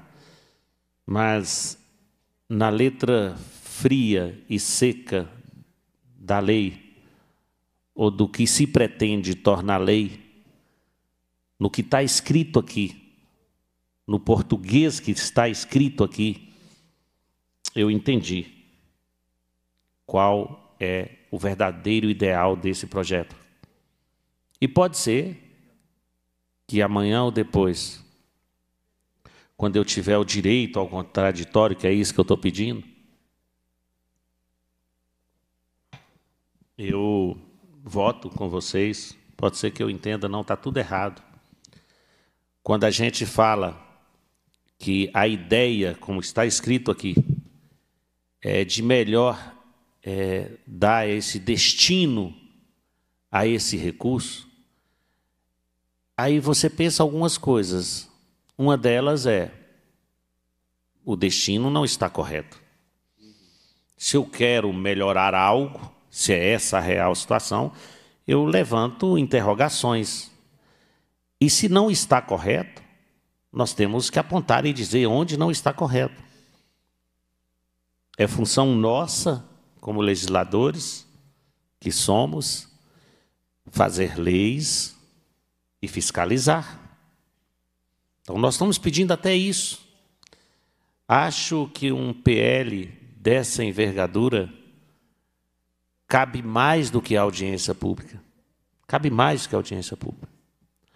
Acho que aqui, deputado, cabe reunião com todas as entidades envolvidas. Todas as entidades que estão dizendo aqui, a entidade que vai fazer parte do conselho. Porque às vezes nós estamos pensando algo errado de uma entidade e ela vai nos mostrar um outro caminho. Então é muito mais do que uma simples audiência pública. Acho que cabe visita nossa, da comissão, dos mandatos, para tirar dúvida no Poder Judiciário, em tudo. Né? Ouvir também o Tribunal de Contas. Né? Aqui eu fiz emenda colocando a importância de ter membros do Tribunal de Contas é, nesse conselho é, a gente confia no Tribunal de Contas. Você corretamente vai agir. Para encaminhar, presidente. Para encaminhar, deputado Aleco Pimentel. Presidente, eu creio que, de fato, a gente a gente está criando aqui um intervalo entre a leitura histórica e o texto da lei. Então, recuperar aqui algumas questões eu vou voltar a Jesus Cristo. Eu sou historiador, eu fui para Minas Novas organizar o arquivo público, Eu cuidei do arquivo público de Mariana, da Sé. E nós estamos falando aqui que 2.600 anos antes de Cristo existiam serviços e o que nós chamamos hoje de serventuários eram os escribas, viu? Eles faziam um registro. E hoje nós só sabemos que Jesus nasceu no ano que nasceu e onde nasceu, porque foi um registro. E não é à toa que todo registro de pessoa civil começa dizendo no ano 2024 de nascimento, após o nascimento de Jesus. Eu estou tratando aqui de coisas que são afetas à vida e que as pessoas não procuram na origem. É importante lembrar disso, porque o Estado brasileiro, ele é recente. Eu contei história que no século XIX, no primeiro quartel, 1808, quem quiser pode ler então também esta é, importante historiografia, mas em 1500 os cartórios se instalam no Brasil para tratar das seis Marias, para tratar também do registro de terras, e a igreja foi incumbida de fazer o registro de pessoas civis. Por isso que de seis em seis meses, às vezes, os padres tinham que repassar quantas crianças nasceram. E assim, só em 1889, com a proclamação da República, que declarou a separação de Estado e Igreja, que nasce esta figura distinta da igreja, com esta função social importante que tem os cartórios. E nós estamos tratando de função social, que no decorrer do tempo, quem estiver buscando essa leitura mais cuidadosa, vai perceber que não é mais um mero papel para as estatísticas. Uma certidão de nascimento equivale ao ingresso em políticas públicas, equivale à legitimação, né, dada pelo cartório numa razão de ter boa fé. Essa palavra boa fé vem muito das relações cartoriais. Parece que no mundo político hoje está meio desgastada, ou não tem muito sentido, né? Mas buscar boa fé como sendo uma expressão daquilo que se declara. Então, em razão disto, nós também queremos lembrar que no Brasil Primeiro, o registro das crianças, do nascimento, e antes o registro das terras, tinha um valor. Para quem casou aí, ó, é, só no início do século XIX que existe no Brasil o advento do casamento civil, porque antes era só o registro da igreja. Hoje, nós temos uma mudança de comportamento na cultura da sociedade e mudança também de legislação. Então, nós estamos falando que o Estado não acompanhou porque antes do Estado nasceram as necessidades notoriais ou daqueles escribas antigos ou dos serventuários que estão hoje aqui a dizer: nós existimos e nós estamos sendo ignoradas, ignorados por aqueles que hoje detêm o poder e já assumidos enquanto Estado querem retirar essa representação e nos dar a condição de inexistência, nos colocando para uma relação, uma relação de simplesmente desaparecer da história. Eu não estou fazendo aqui defesa às cegas de uma situação que poderia passar desapercebida, não fosse a gente saber que para o capitalismo, e aí eu lembrava que no feudalismo, doutor Jean, no feudalismo, sem a figura do capital, não existia ninguém para registrar o cercamento de terra. É o capitalismo que traz a cerca, traz a propriedade, é o capitalismo que nos coloca nessas relações de Estado, e é o mesmo capitalismo que está a movimentar esse projeto de lei. Nós não estamos tratando aqui da mesma coisa. Enquanto uns defendem que a gente tenha uma relação justa e democrática para garantir a gratuidade daqueles que, vindo num Estado onde alguns acreditam que na relação social, aqueles que têm mérito, portanto a meritocracia, é que vão ter direito às coisas. Mas vamos ver o estado da pobreza e entender por que, que a redução dos índices de subinformações em relação aos nascituros ou aos que nascem, por que que quando você tem um, um serviço público atualizado e ele te permite avançar em políticas públicas, doutor Jean, o senhor bem sabe quando defende aqui o SUS, da importância das informações no hospital sobre as vacinas, da importância que tem de levar cada criança ao seu direito ali dentro do hospital. E eu quero lembrar da figura aqui: o menino nasce e sai do hospital já com certidão de nascimento. Eu não sou, eu nasci em fevereiro de 10, 10 de fevereiro de 81. Para quem não gosta do PT, é nesse dia que o PT faz aniversário, nesse dia que o PT nasce. Então não tinha jeito de eu não ser petista. É, Zé Roberto, pode reclamar mesmo. Eu fiz um ai ai ali de tanto tamanho altura que eu. Ele foi uma, uma interjeição da alma, né? Licença poética. Mas você pode vir para o PT um dia, Zé Roberto. Inclusive, se alguém fosse anotar o seu nome lá no cartório, você seria o primeiro de uma sequência. Porque ele é o Zé Roberto, tem um Humberto, dois Berto, né? Então, nesse sentido, eu traria aqui então esta figura histórica importante para dizer que nós não estamos falando de recenseamento, nós não estamos falando só de uma relação de criação do Estado, nós estamos falando agora da subversão do Estado que pretende transformar estas relações em apenas relações em que o capital descreve como recurso. É terrível para alguém ter que escutar as origens do cercamento, as origens da corrupção, sabendo que isso tudo é humano e que faz parte da política. A política é essencialmente humana. É a relação de sair da alteridade, né? ir ao outro, sair de si. Quando está só em você, é uma relação religiosa, mas quando está no outro, é política. Esta é a relação que nós estamos tratando. Não se trata apenas de uma relação ainda como existia no padroado, que era a relação Estado-igreja, o rei justificando Deus. Mas aqui parece-me que o padroado às avessas está sendo reinaugurado. É o juiz maior que Deus, justificando todas as relações abaixo de si. Portanto, é a restituição do padroado, que lá em 1889, com a proclamação da República, nós fizemos questão de separar Estado e igreja. Mas não queiram com isso pensar que eu quero separar corpo e espírito, que eu quero separar fé e política. São indissociáveis. São indissociáveis e devem ser tratados na integralidade.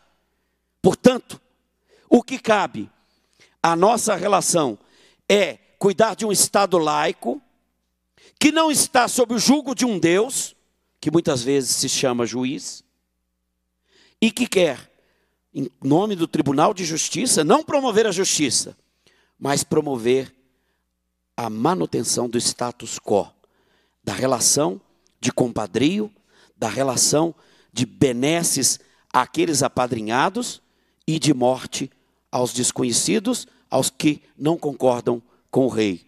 É bom buscar na história a relação da vida, porque quem não olha para a história corre o risco de cometer os mesmos erros.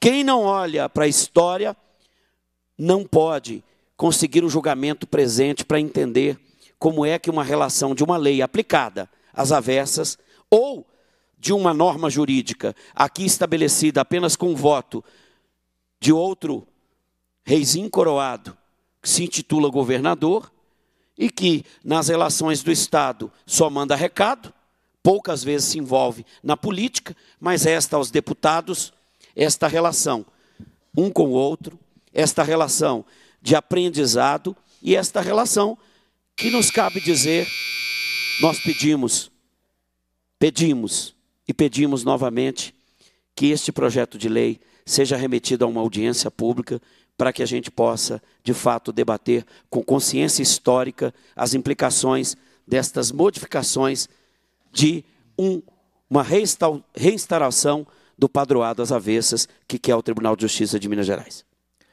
A presidência vai submeter o requerimento que solicita o adiamento da votação sobre o projeto de lei 1931 de 2020, nos termos do artigo 267 do Regimento Interno, de autoria do deputado doutor Jean Freire, em votação nominal. Os deputados que aprovam o requerimento digam sim. Os deputados que rejeitam o requerimento digam não. Como vota o deputado Leleco Pimentel? Deputado, o voto é nominal. Meu nome é Welton Pimentel de Freitas, mas meu apelido Leleco Pimentel. Então eu estou votando nominalmente em meu nome, sim, S maiúsculo, I maiúsculo, M maiúsculo, sim. Como vota o deputado doutor Jean Freire? Me chamam de doutor Jean Freire, meu nome é Jean Marc Freire Silva, eu voto sim. Como vota o deputado Zé Viola? Voto não, senhor presidente. Como vota o deputado João Magalhães? Voto não, senhor presidente. Como vota a deputada Amanda? Pelo povo mineiro, eu voto não, senhor presidente. A presidência também vota não, está rejeitado o requerimento. Sob a mesa, a presidência informa que chegou um requerimento de autoria do deputado doutor Jean Freire, solicitando que a votação do parecer do projeto de lei 1931 de 2020 seja realizada pelo processo nominal. Para encaminhar, senhor Para presidente. encaminhar, deputado doutor Jean Freire. Vi que a Poliana já ficou atenta ali, se eu estava prestando atenção, né, Poliana? Mas a arte da democracia, e eu quero agradecer, você vê que o presidente já olha, sabe que eu vou encaminhar o projeto de lei. É, eu quero aproveitar, agradecer aqui a presença da Letícia, da Soraya, gratidão por estarem aqui presente, acompanhando esse projeto. Vocês que desempenham tão bem esse papel de registradoras, registradoras civis. Uma outra mulher passou por aqui hoje também, a Roberta, acompanhando. É, em nome de vocês, eu quero cumprimentar cada registrador e cada registradora civil desse estado de Minas Gerais que estão nos acompanhando aqui, tá? Já olhamos aqui, então tem vários nos acompanhando, mandando é, as suas contribuições para a gente tentar enriquecer. Enriquecer não tem como, né? Para a gente tentar tirar, é, diminuir os danos nesse projeto. Mas comunicar a vocês que esse projeto ainda vai passar em outra comissão e que nós vamos, de qualquer maneira, solicitar uma audiência pública para debater e, dentro da ética, nós vamos é, cumprir todos os trâmites que cabe a nós de maneira regimental para dialogar sobre o projeto que votar, inclusive, em nome do povo mineiro, que vai ser quem mais vai sofrer com isso. É o povo mineiro. Seria até interessante a gente saber se os outros estados. Depois eu queria que vocês me mandassem uma relação de como funciona é, o Recomp em outros estados. Como funciona? Né? É, e se tem algum estado que já seguiu essa norma e como anda lá. Né? Porque isso é interessante. A história mostra, deputado Leleco, a importância da gente. Tem pessoas que falam que a gente não tem que olhar no retrovisor, a gente tem que olhar algo que deu errado lá atrás para a gente não cometer os mesmos erros. Né? A história serve para isso também, para nos mostrar, você, Vossa Excelência, que desempenha tão bem esse papel de historiador. Fiquei aqui olhando e falei assim: esse garoto é bom. Desempenha tão bem esse processo historiador. É, a história serve para isso, né? Ela mostrar que naquele determinado tempo, em um determinado lugar, algo era assim, algo era de outro jeito, e isso serve de exemplo para nós, né? De como a gente deve fazer. Eu repito, não que as coisas têm que ser é, estáticas, né? Mas dinâmicas desse jeito também não pode, deputado. Também não pode. É, modificar com tanta pressa. Né?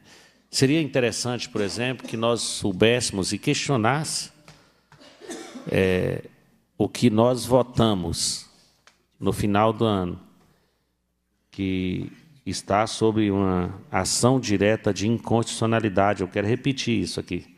Ação direta de inconstitucionalidade. O que nós votamos, a mudança do Recomp, ela já está sendo é, efetiva? Já está cumprindo? Se não está, aliás, se está, não está dando certo. Eu lembro que naquele momento que nós votávamos aqui, mas falavam, né, quantas falas eu ouvi que era importante mudar a comissão, é, porque assim iriam democratizar mais, que era pensando nos pequenos, e, e mudou a comissão e agora vem de novo outra ideia com a mesma origem, no fundo é a mesma origem, de dizer, ó, oh, não deu certo. Não é isso que nós queremos. Para mudar e fazer esse conselho. E detalhe, algo muito fechado, né? algo muito assim, não, não queremos participação da Assembleia, a Assembleia só serve para votar, não queremos participação é, nem do Poder Executivo, não queremos participação do Tribunal de Contas. Somos só nós. Só nós que devemos dizer como deve funcionar esse conselho, só nós temos que criar esse conselho e dizer quantos membros nós queremos colocar lá. Deputado Leleco, eu fico olhando se não poderia ser assim, sete a seis, né? de membros, mas assim, um só. É, é, é dizer o, o que a cada registrador desse Estado? É dizer o que? Olha, esse fundo que foi criado por uma lei federal para servir a vocês, para recompensar os atos que vocês fazem, é, vocês não podem geri-lo. Vocês não podem coordenar esse fundo. Quem tem que coordenar é outro por vocês.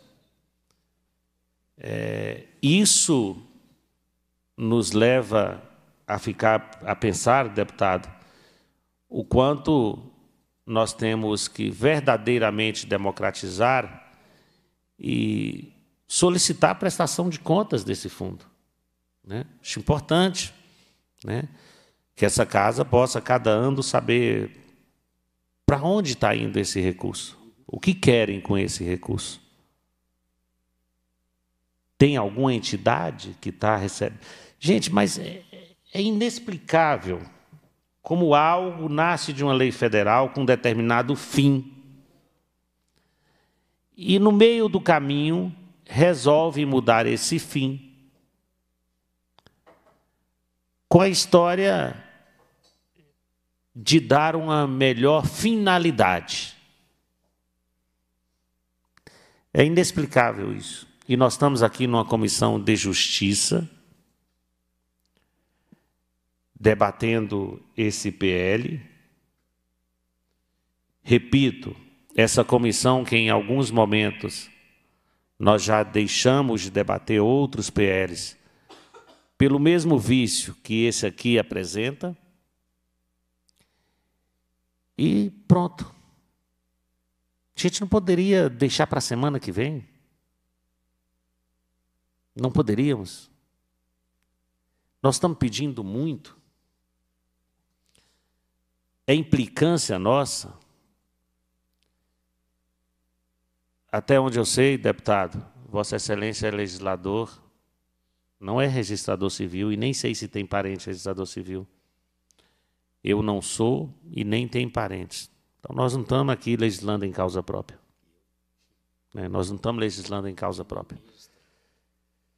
Mas é, eu queria que cada um de nós colocássemos no lugar, tivéssemos a empatia, colocarmos no lugar dessas pessoas que atuam nesse trabalho, principalmente os mais distantes, que a gente fala tanto em defendê-los, lá dos distritos, das cidades pequenas, que são muitas vezes consideradas deficitários. Já disse e quero repetir que eu não gosto dessa palavra, porque se eles cumprem tão bem o seu papel, eles não são deficitários. Se coloque no lugar deles. Se ainda assim a gente não conseguir dar mais um tempo para a discussão, se coloque no lugar desses. Vossa Excelência se Vossa Excelência recorre a sua história de professor e de historiador para dar uma belíssima aula. Eu quero recorrer à minha profissão médica de lá no passado, lá no passado, quando eu era porteiro do hospital, quantas vezes chegava uma pessoa e não tinha a certidão de nascimento, deputado? Quantas vezes chegava uma criança e não tinha certidão de nascimento?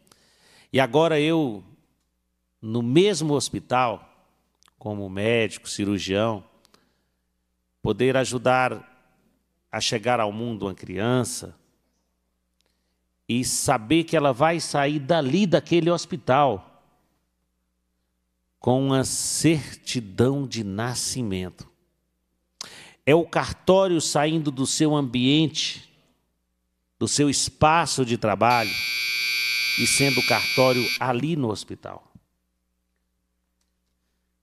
Eu estou sendo fiel, senhor presidente. Presidente. Para encaminhar, deputado Leleco Pimentel.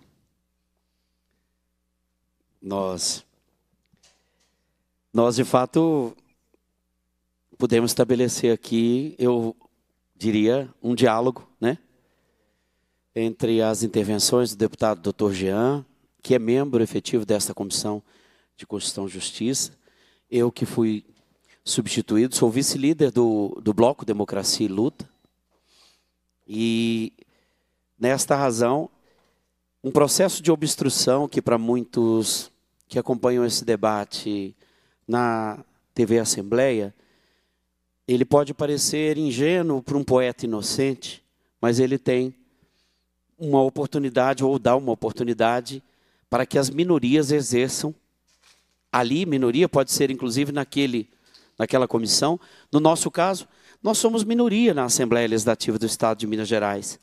Dos 77 deputados, o Bloco Democracia e Luta, que é composto por duas federações, a federação que participa, o FE Brasil, Federação da Esperança, PT, PCdoB e PV, e a Federação Rede PSOL.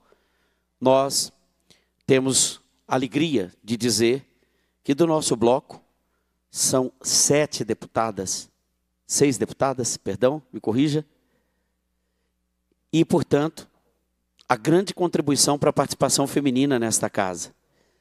Nesta relação, nós estamos exercendo o que é estabelecido como regramento dentro dessa casa. E junto aqui ao presidente Arnaldo, aqui estão presentes o deputado Laviola, o presidente, o líder né, do governo, João Magalhães, e a deputada é, que também já mencionei e refiro-me sete deputadas. Então, vejam que o nosso bloco, sendo minoria, foi o que mais se aproximou, trazendo a esta casa vamos dizer, em comparação com o número de homens, um número muito significativo de 20 deputados, 7 deputadas eleitas. E nós temos muita alegria, muita alegria em estar servindo aqui nesse momento. Eu venho de sala de aula, sou defensor da educação do campo, mas sou da luta do sem-teto. E meu pai, há pouco mais de um ano e meio, faleceu não deixou nada para registrar em cartório. Nada. Acho que registrou nós e está registrado. Não temos. Então, quando a gente conta um pouco da história da gente aqui, a gente está falando que todas as relações econômicas, todas as relações civis, todas as relações políticas, de amaziar-se, de, é, de separar-se, de ter filhos, tudo passa por uma relação do Estado. E veja, eu quando servi em Ponte Nova, fui diretor de habitação, e eu era responsável também pela regularização fundiária. Ali nós estimulamos um programa para a entrega de mil títulos de regularização fundiária. Ali naquele cartório, nós tínhamos a dona Efigênia e o senhor Lula, é do nome Lula, filho da dona Efigênia, salvo engano, um sobrinho. Nós duramos quase dois anos para convencê-los de que a gratuidade na primeira titulação era importante, sobretudo para os mais pobres dos bairros de Ponte Nova, que a gente poderia ter nesta relação depois. As pessoas descasam, casam, morrem, nascem. Então, estas relações gerariam para o cartório a sua sustentação, sua sustentação do ponto de vista da quantidade de serviço. E lembrando que enquanto a humanidade existir, vai ter relações burocráticas mediadas pelos cartórios na relação do Estado com a vida. Ponto. Por esta razão, ao defender e ao tratar desse tema aqui, eu disse, meu mestrado, onde trabalhei das dificuldades e entendendo até se o programa de regularização fundiária ou o novo estatuto da REURB social e da REURB é, que é, vamos dizer assim, ela é especial, ela está dividida nessa tipologia, nessa dicotomia, se ela era muito mais um instrumento para o aumento da especulação imobiliária, aumento do preço, porque a terra é mediada por valores e eu diria lá em Durkheim, né? É, a ética protestante, o espírito capitalista, onde é que fosse. Mas nós estávamos tratando das relações civis. Lembrei que desde 1889, essas relações de separação do Estado e da Igreja, elas possibilitaram que o Brasil pudesse ter uma ordenação, uma, uh, um disciplinamento nesse regramento das coisas que acontecem. Continua a ficar cada vez mais complexa a relação do Estado, porque hoje para que a gente tenha a pessoa acessando o Bolsa Família, para que a pessoa possa acessar no Cade Único o seu instrumento para é, é, poder entrar no Minha Casa Minha Vida, ou até no Estado, mediando aí políticas públicas. Esses documentos, e eu queria lembrar aqui que no mesmo site citado pelo deputado Dr. Jean, com a diminuição né, das subinformações em relação aos, aos nascimentos, é, as certidões pelo sistema agora em 20 minutos, doutor Jean. 20 minutos. Eu até me pergunto se, com o sistema mais avançado, a tecnologia avançada, se era necessário mesmo pagar taxas e emolumentos aqueles que precisam pagar, os que não podem, estão cobertos aqui nesta relação do debate. Mas o que, que acontece? Aos que não podem pagar, o governo subsidia. Esse dinheiro ele já é o resultado do ajuntamento das riquezas do trabalho e da exploração que infelizmente ocorre pelo Estado. Então o Estado garante, e por isso nós lemos aqui quais eram os valores ali praticados. As 50 UFENGs, chegando a 2.526, 529,6. E a gente até questiona se taxas e emolumentos devam continuar com esses valores. Mas o fato é que o governo subsidia, garante o recurso.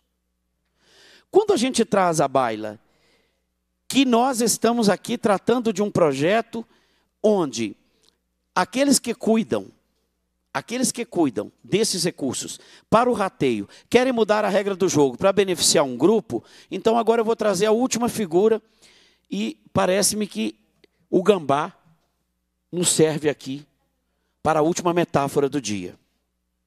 E aí, do, deputado Arnaldo, por quê? Para o linguajar aí do nosso povo, o gambá, que é um animalzinho sagrado, eu até aqui quero fazer referência junto à deputada, que é da causa animal. Vamos proteger os gambá. Mas vamos cuidar para que eles não cuidem dos ovos. Porque gambá não bota ovo. É uma surpial. Ele tem uma bolsinha, os gambazinhos ficam. Vocês já viram? Acho que o gambá é uma figura fantástica para a gente imaginar que os ovos que são botados pelos galináceos, pela galinha, pelo pombo, pelo, pela codorna, pela serpente, mas o danado do gambá não bota ovo, mas vai gostar de comer ovo lá longe. E não importa quem é a mãe. Eu até tenho trazido alguma figura sobre chocadeira aqui, e outro dia o deputado me questionou. Ele não sabia por que, que eu falei que fulano era filho de chocadeira. E eu, primeiro, em respeito às mulheres, disse: porque chocadeira não é mãe. E aqui me parece que essa chocadeira é exatamente este ovo que está a cuidar desse ovo para os gambá quererem, neste projeto de lei, comer o ovo das galinhas e não deixar nem nascer os pintos. No caso das galinhas, porque pode nascer pombo, pato, pode nascer de tudo. Eu acho que a causa animal nos, nos importa muito, né? Mas, nesse caso, o gambá. E eu mesmo tendo o animal, o gambá como animal sagrado, alguns até dão pinga para eles, sabia? Tem lugar você dá pinga para o gambá ele fica rindo, já viram? Parece que ele quer atacar, ele está ali, mas ele fica meio bambo. Nós não conseguimos dar pinga para o gambá hoje. Doutor Jean. Doutor Jean gosta das metáforas, por isso que eu estou terminando aqui, trazendo a figura do gambá e dos ovos. Me parece que o gambá não botou ovo algum. Eu posso afirmar que não botou. Mas o gambá está doido para levar o recurso para a manutenção desses serventuários, desse espaço de serviço com recurso público para o bolso. Comer o ovo sem pagar nada, pelo contrário, levar para o seu banquete os ovos, a galinha e consigo levar, inclusive, a nossa esperança de justiça social. Que o Tribunal de Justiça seja, de fato, quem promova a justiça e não o gambá a cuidar dos ovos. Obrigado, presidente a presidência vai submeter o requerimento de autoria do deputado doutor Jean Freire, que solicita a votação do parecer do projeto de lei 1931 de 2020 pelo processo nominal. Os deputados que o aprovam permaneçam como se encontram, os deputados que o rejeitam se manifestem. Está em votação o requerimento. Está aprovado o requerimento. Suspende a reunião, a presidência suspende a reunião. Já ia até para suspender. Requerimento de autoria do deputado doutor Jean Freire, solicitando nos termos do artigo 232, inciso do 17, feito destaque de duas emendas, número 4 e número 13. É regimental, a presidência o defere gostaria de encaminhar. o requerimento. Nesse caso, não tem encaminhamento. Nós vamos agora entrar no processo de votação. A presidência irá submeter à comissão o parecer, salvo as propostas de emenda apresentada. Os deputados e as deputadas que aprovam o parecer se manifestem, porque a votação será no processo nominal. Nós vamos colocar, eu volto a repetir, no processo nominal, com a chamada de cada um dos deputados, o parecer, salvo a proposta de emenda. Os deputados que aprovam o parecer, salvo propostas de emendas, respondam sim. Os deputados que rejeitam o parecer, salvo propostas de emenda, respondem não. Está, como vota o deputado Leleco Pimentel? É, nominalmente, Leleco Pimentel, eu voto não é, ao parecer apresentado e fiz todas as críticas e justificativas no tempo, não. Como vota o deputado doutor Jean Freire? Pelo povo mineiro, voto não. Como vota o deputado Zé Viola? Voto sim, senhor presidente. Como vota o deputado João Magalhães? Voto sim, presidente. Como vota a deputada Amanda? Voto sim, senhor presidente. A presidência também vota sim. Está aprovado o parecer, salvo propostas de emenda. A presidência irá colocar em votação em bloco as propostas de emenda de 1 a 9, de 11 a 13 e 17 a 21, que receberam a opinião contrária do relator, salvo os destaques. Então, nós vamos colocar em bloco as propostas de emenda que receberam a opinião contrária. A votação também no processo nominal. Os deputados que, que aprovam as emendas votam sim, os deputados que rejeitam as emendas votam não. Como vota o deputado Leleco Pimentel? Deputado Leleco Pimentel vota sim pela emenda, fizemos as defesas, embora pudesse ter mais. Voto sim. Como vota o deputado doutor Jean Freire? Sim. Como vota o deputado Zela Viola? Voto não, senhor presidente. Como vota o deputado João Magalhães? Voto não, senhor presidente. Como vota a deputada Amanda? Voto não, senhor presidente. A presidência também vota não. As emendas estão rejeitadas, salvo os destaques. A presidência agora irá colocar em votação os destaques apresentados, a emenda número 4 e a emenda número 13, destacada que recebeu opinião contrária do relator pelo processo nominal. Tem direito a fazer o encaminhamento de cinco minutos. Vou encaminhar. Então, é um, apenas um encaminhamento por, Ah, por destaque. Por emenda, né? É. Então, para fazer o encaminhamento da emenda do, do número 4, deputado, é um encaminhamento, não, eles, eles estão já. É um encaminhamento contrário e um encaminhamento favorável. Então, é um encaminhamento pela emenda número 4, um encaminhamento pela emenda número 13. Tá, é Ah, das duas juntas? um favorável e um contrário. Isso. É, Como não tem o. Mas, de repente, só para ganhar tempo, o Leleque caminha contrário. É, me arranja aí a emenda, por gentileza. Com a palavra para encaminhamento das emendas destacadas, o deputado doutor Jean Freire. Só um momento, senhor presidente. Cadê as duas emendas? Pega aí a, o destaque.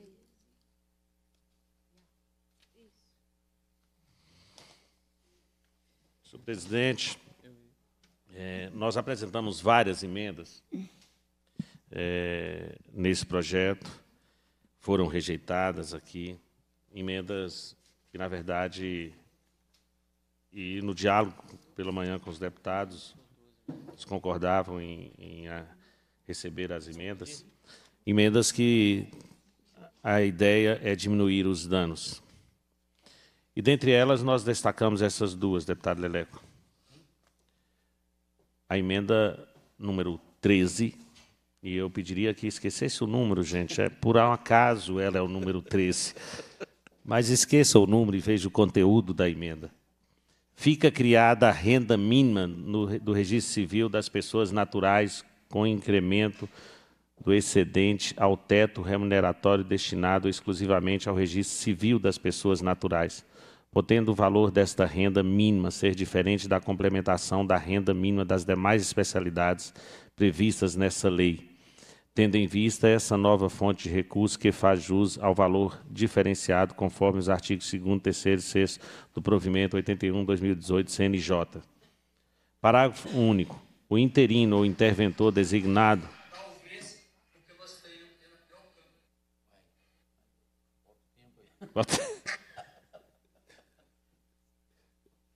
Parágrafo único. O interino ou interventor designado para responder pelo serviço nota- notarial e de registro terá retirada limitada. Olha para você ver, deputado Leco.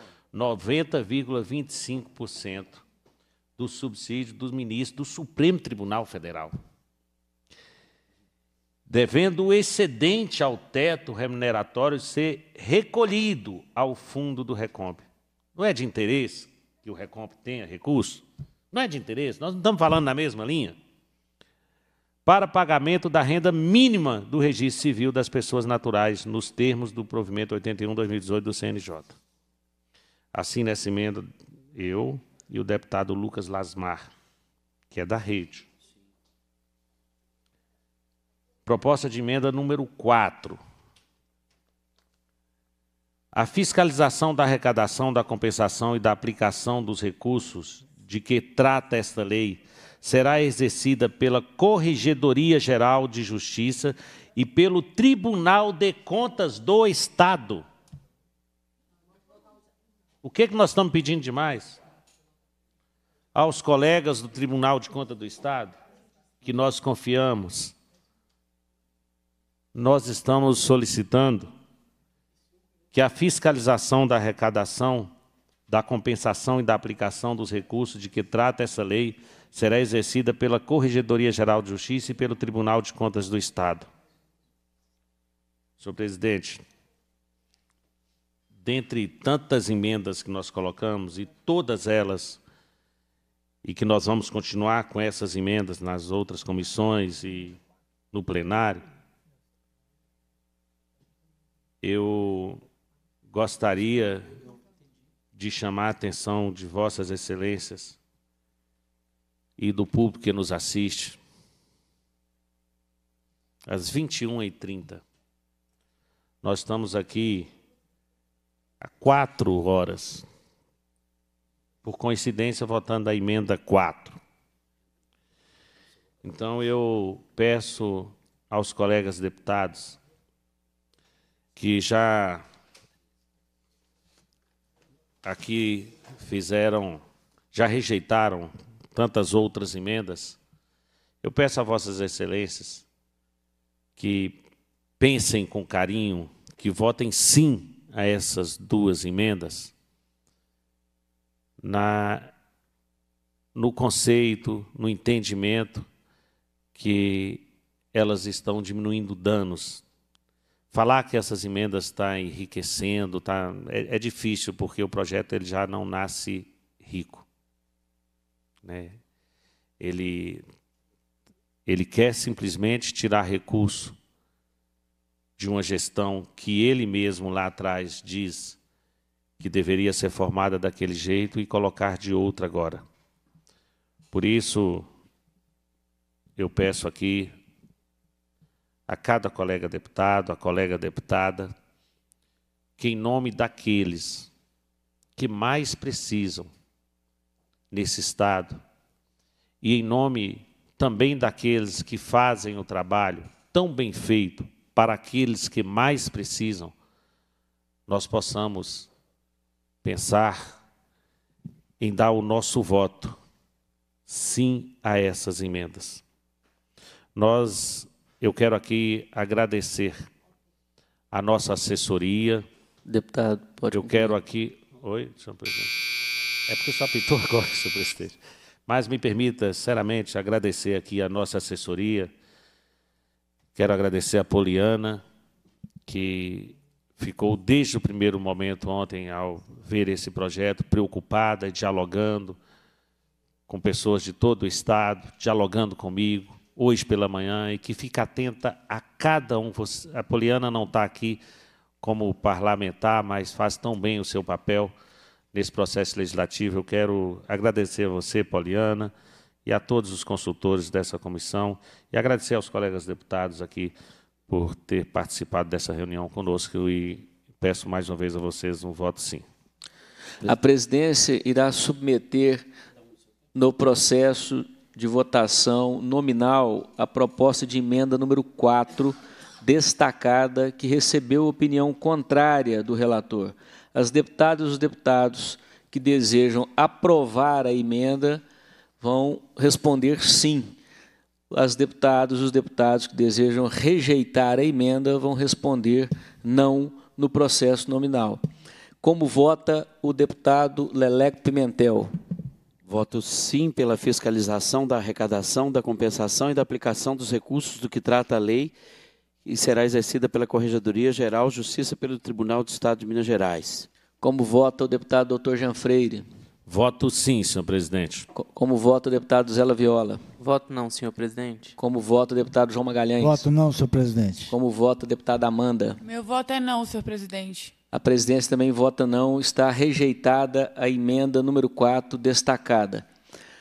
É, em votação, a emenda destacada número 13, para encaminhamento, o deputado Leleco Pimentel. Obrigado, deputado Arnaldo, deputados e deputadas que ao final deste debate aprovam aqui estas propostas de emenda, cuja palavra do relator é firme e esperamos ser pela assunção, pela, pelo recebimento.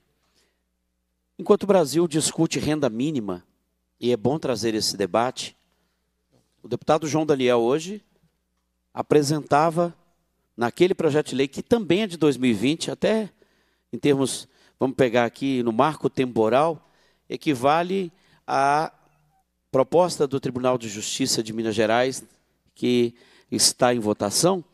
Ali se discute, deputado doutor Jean, como é que se estabelece a dignidade da vida, mesmo aqueles que são partícipes né, dos programas, como o caso do Bolsa Família e tantos outros programas importantes que garantem a vida ah, das famílias.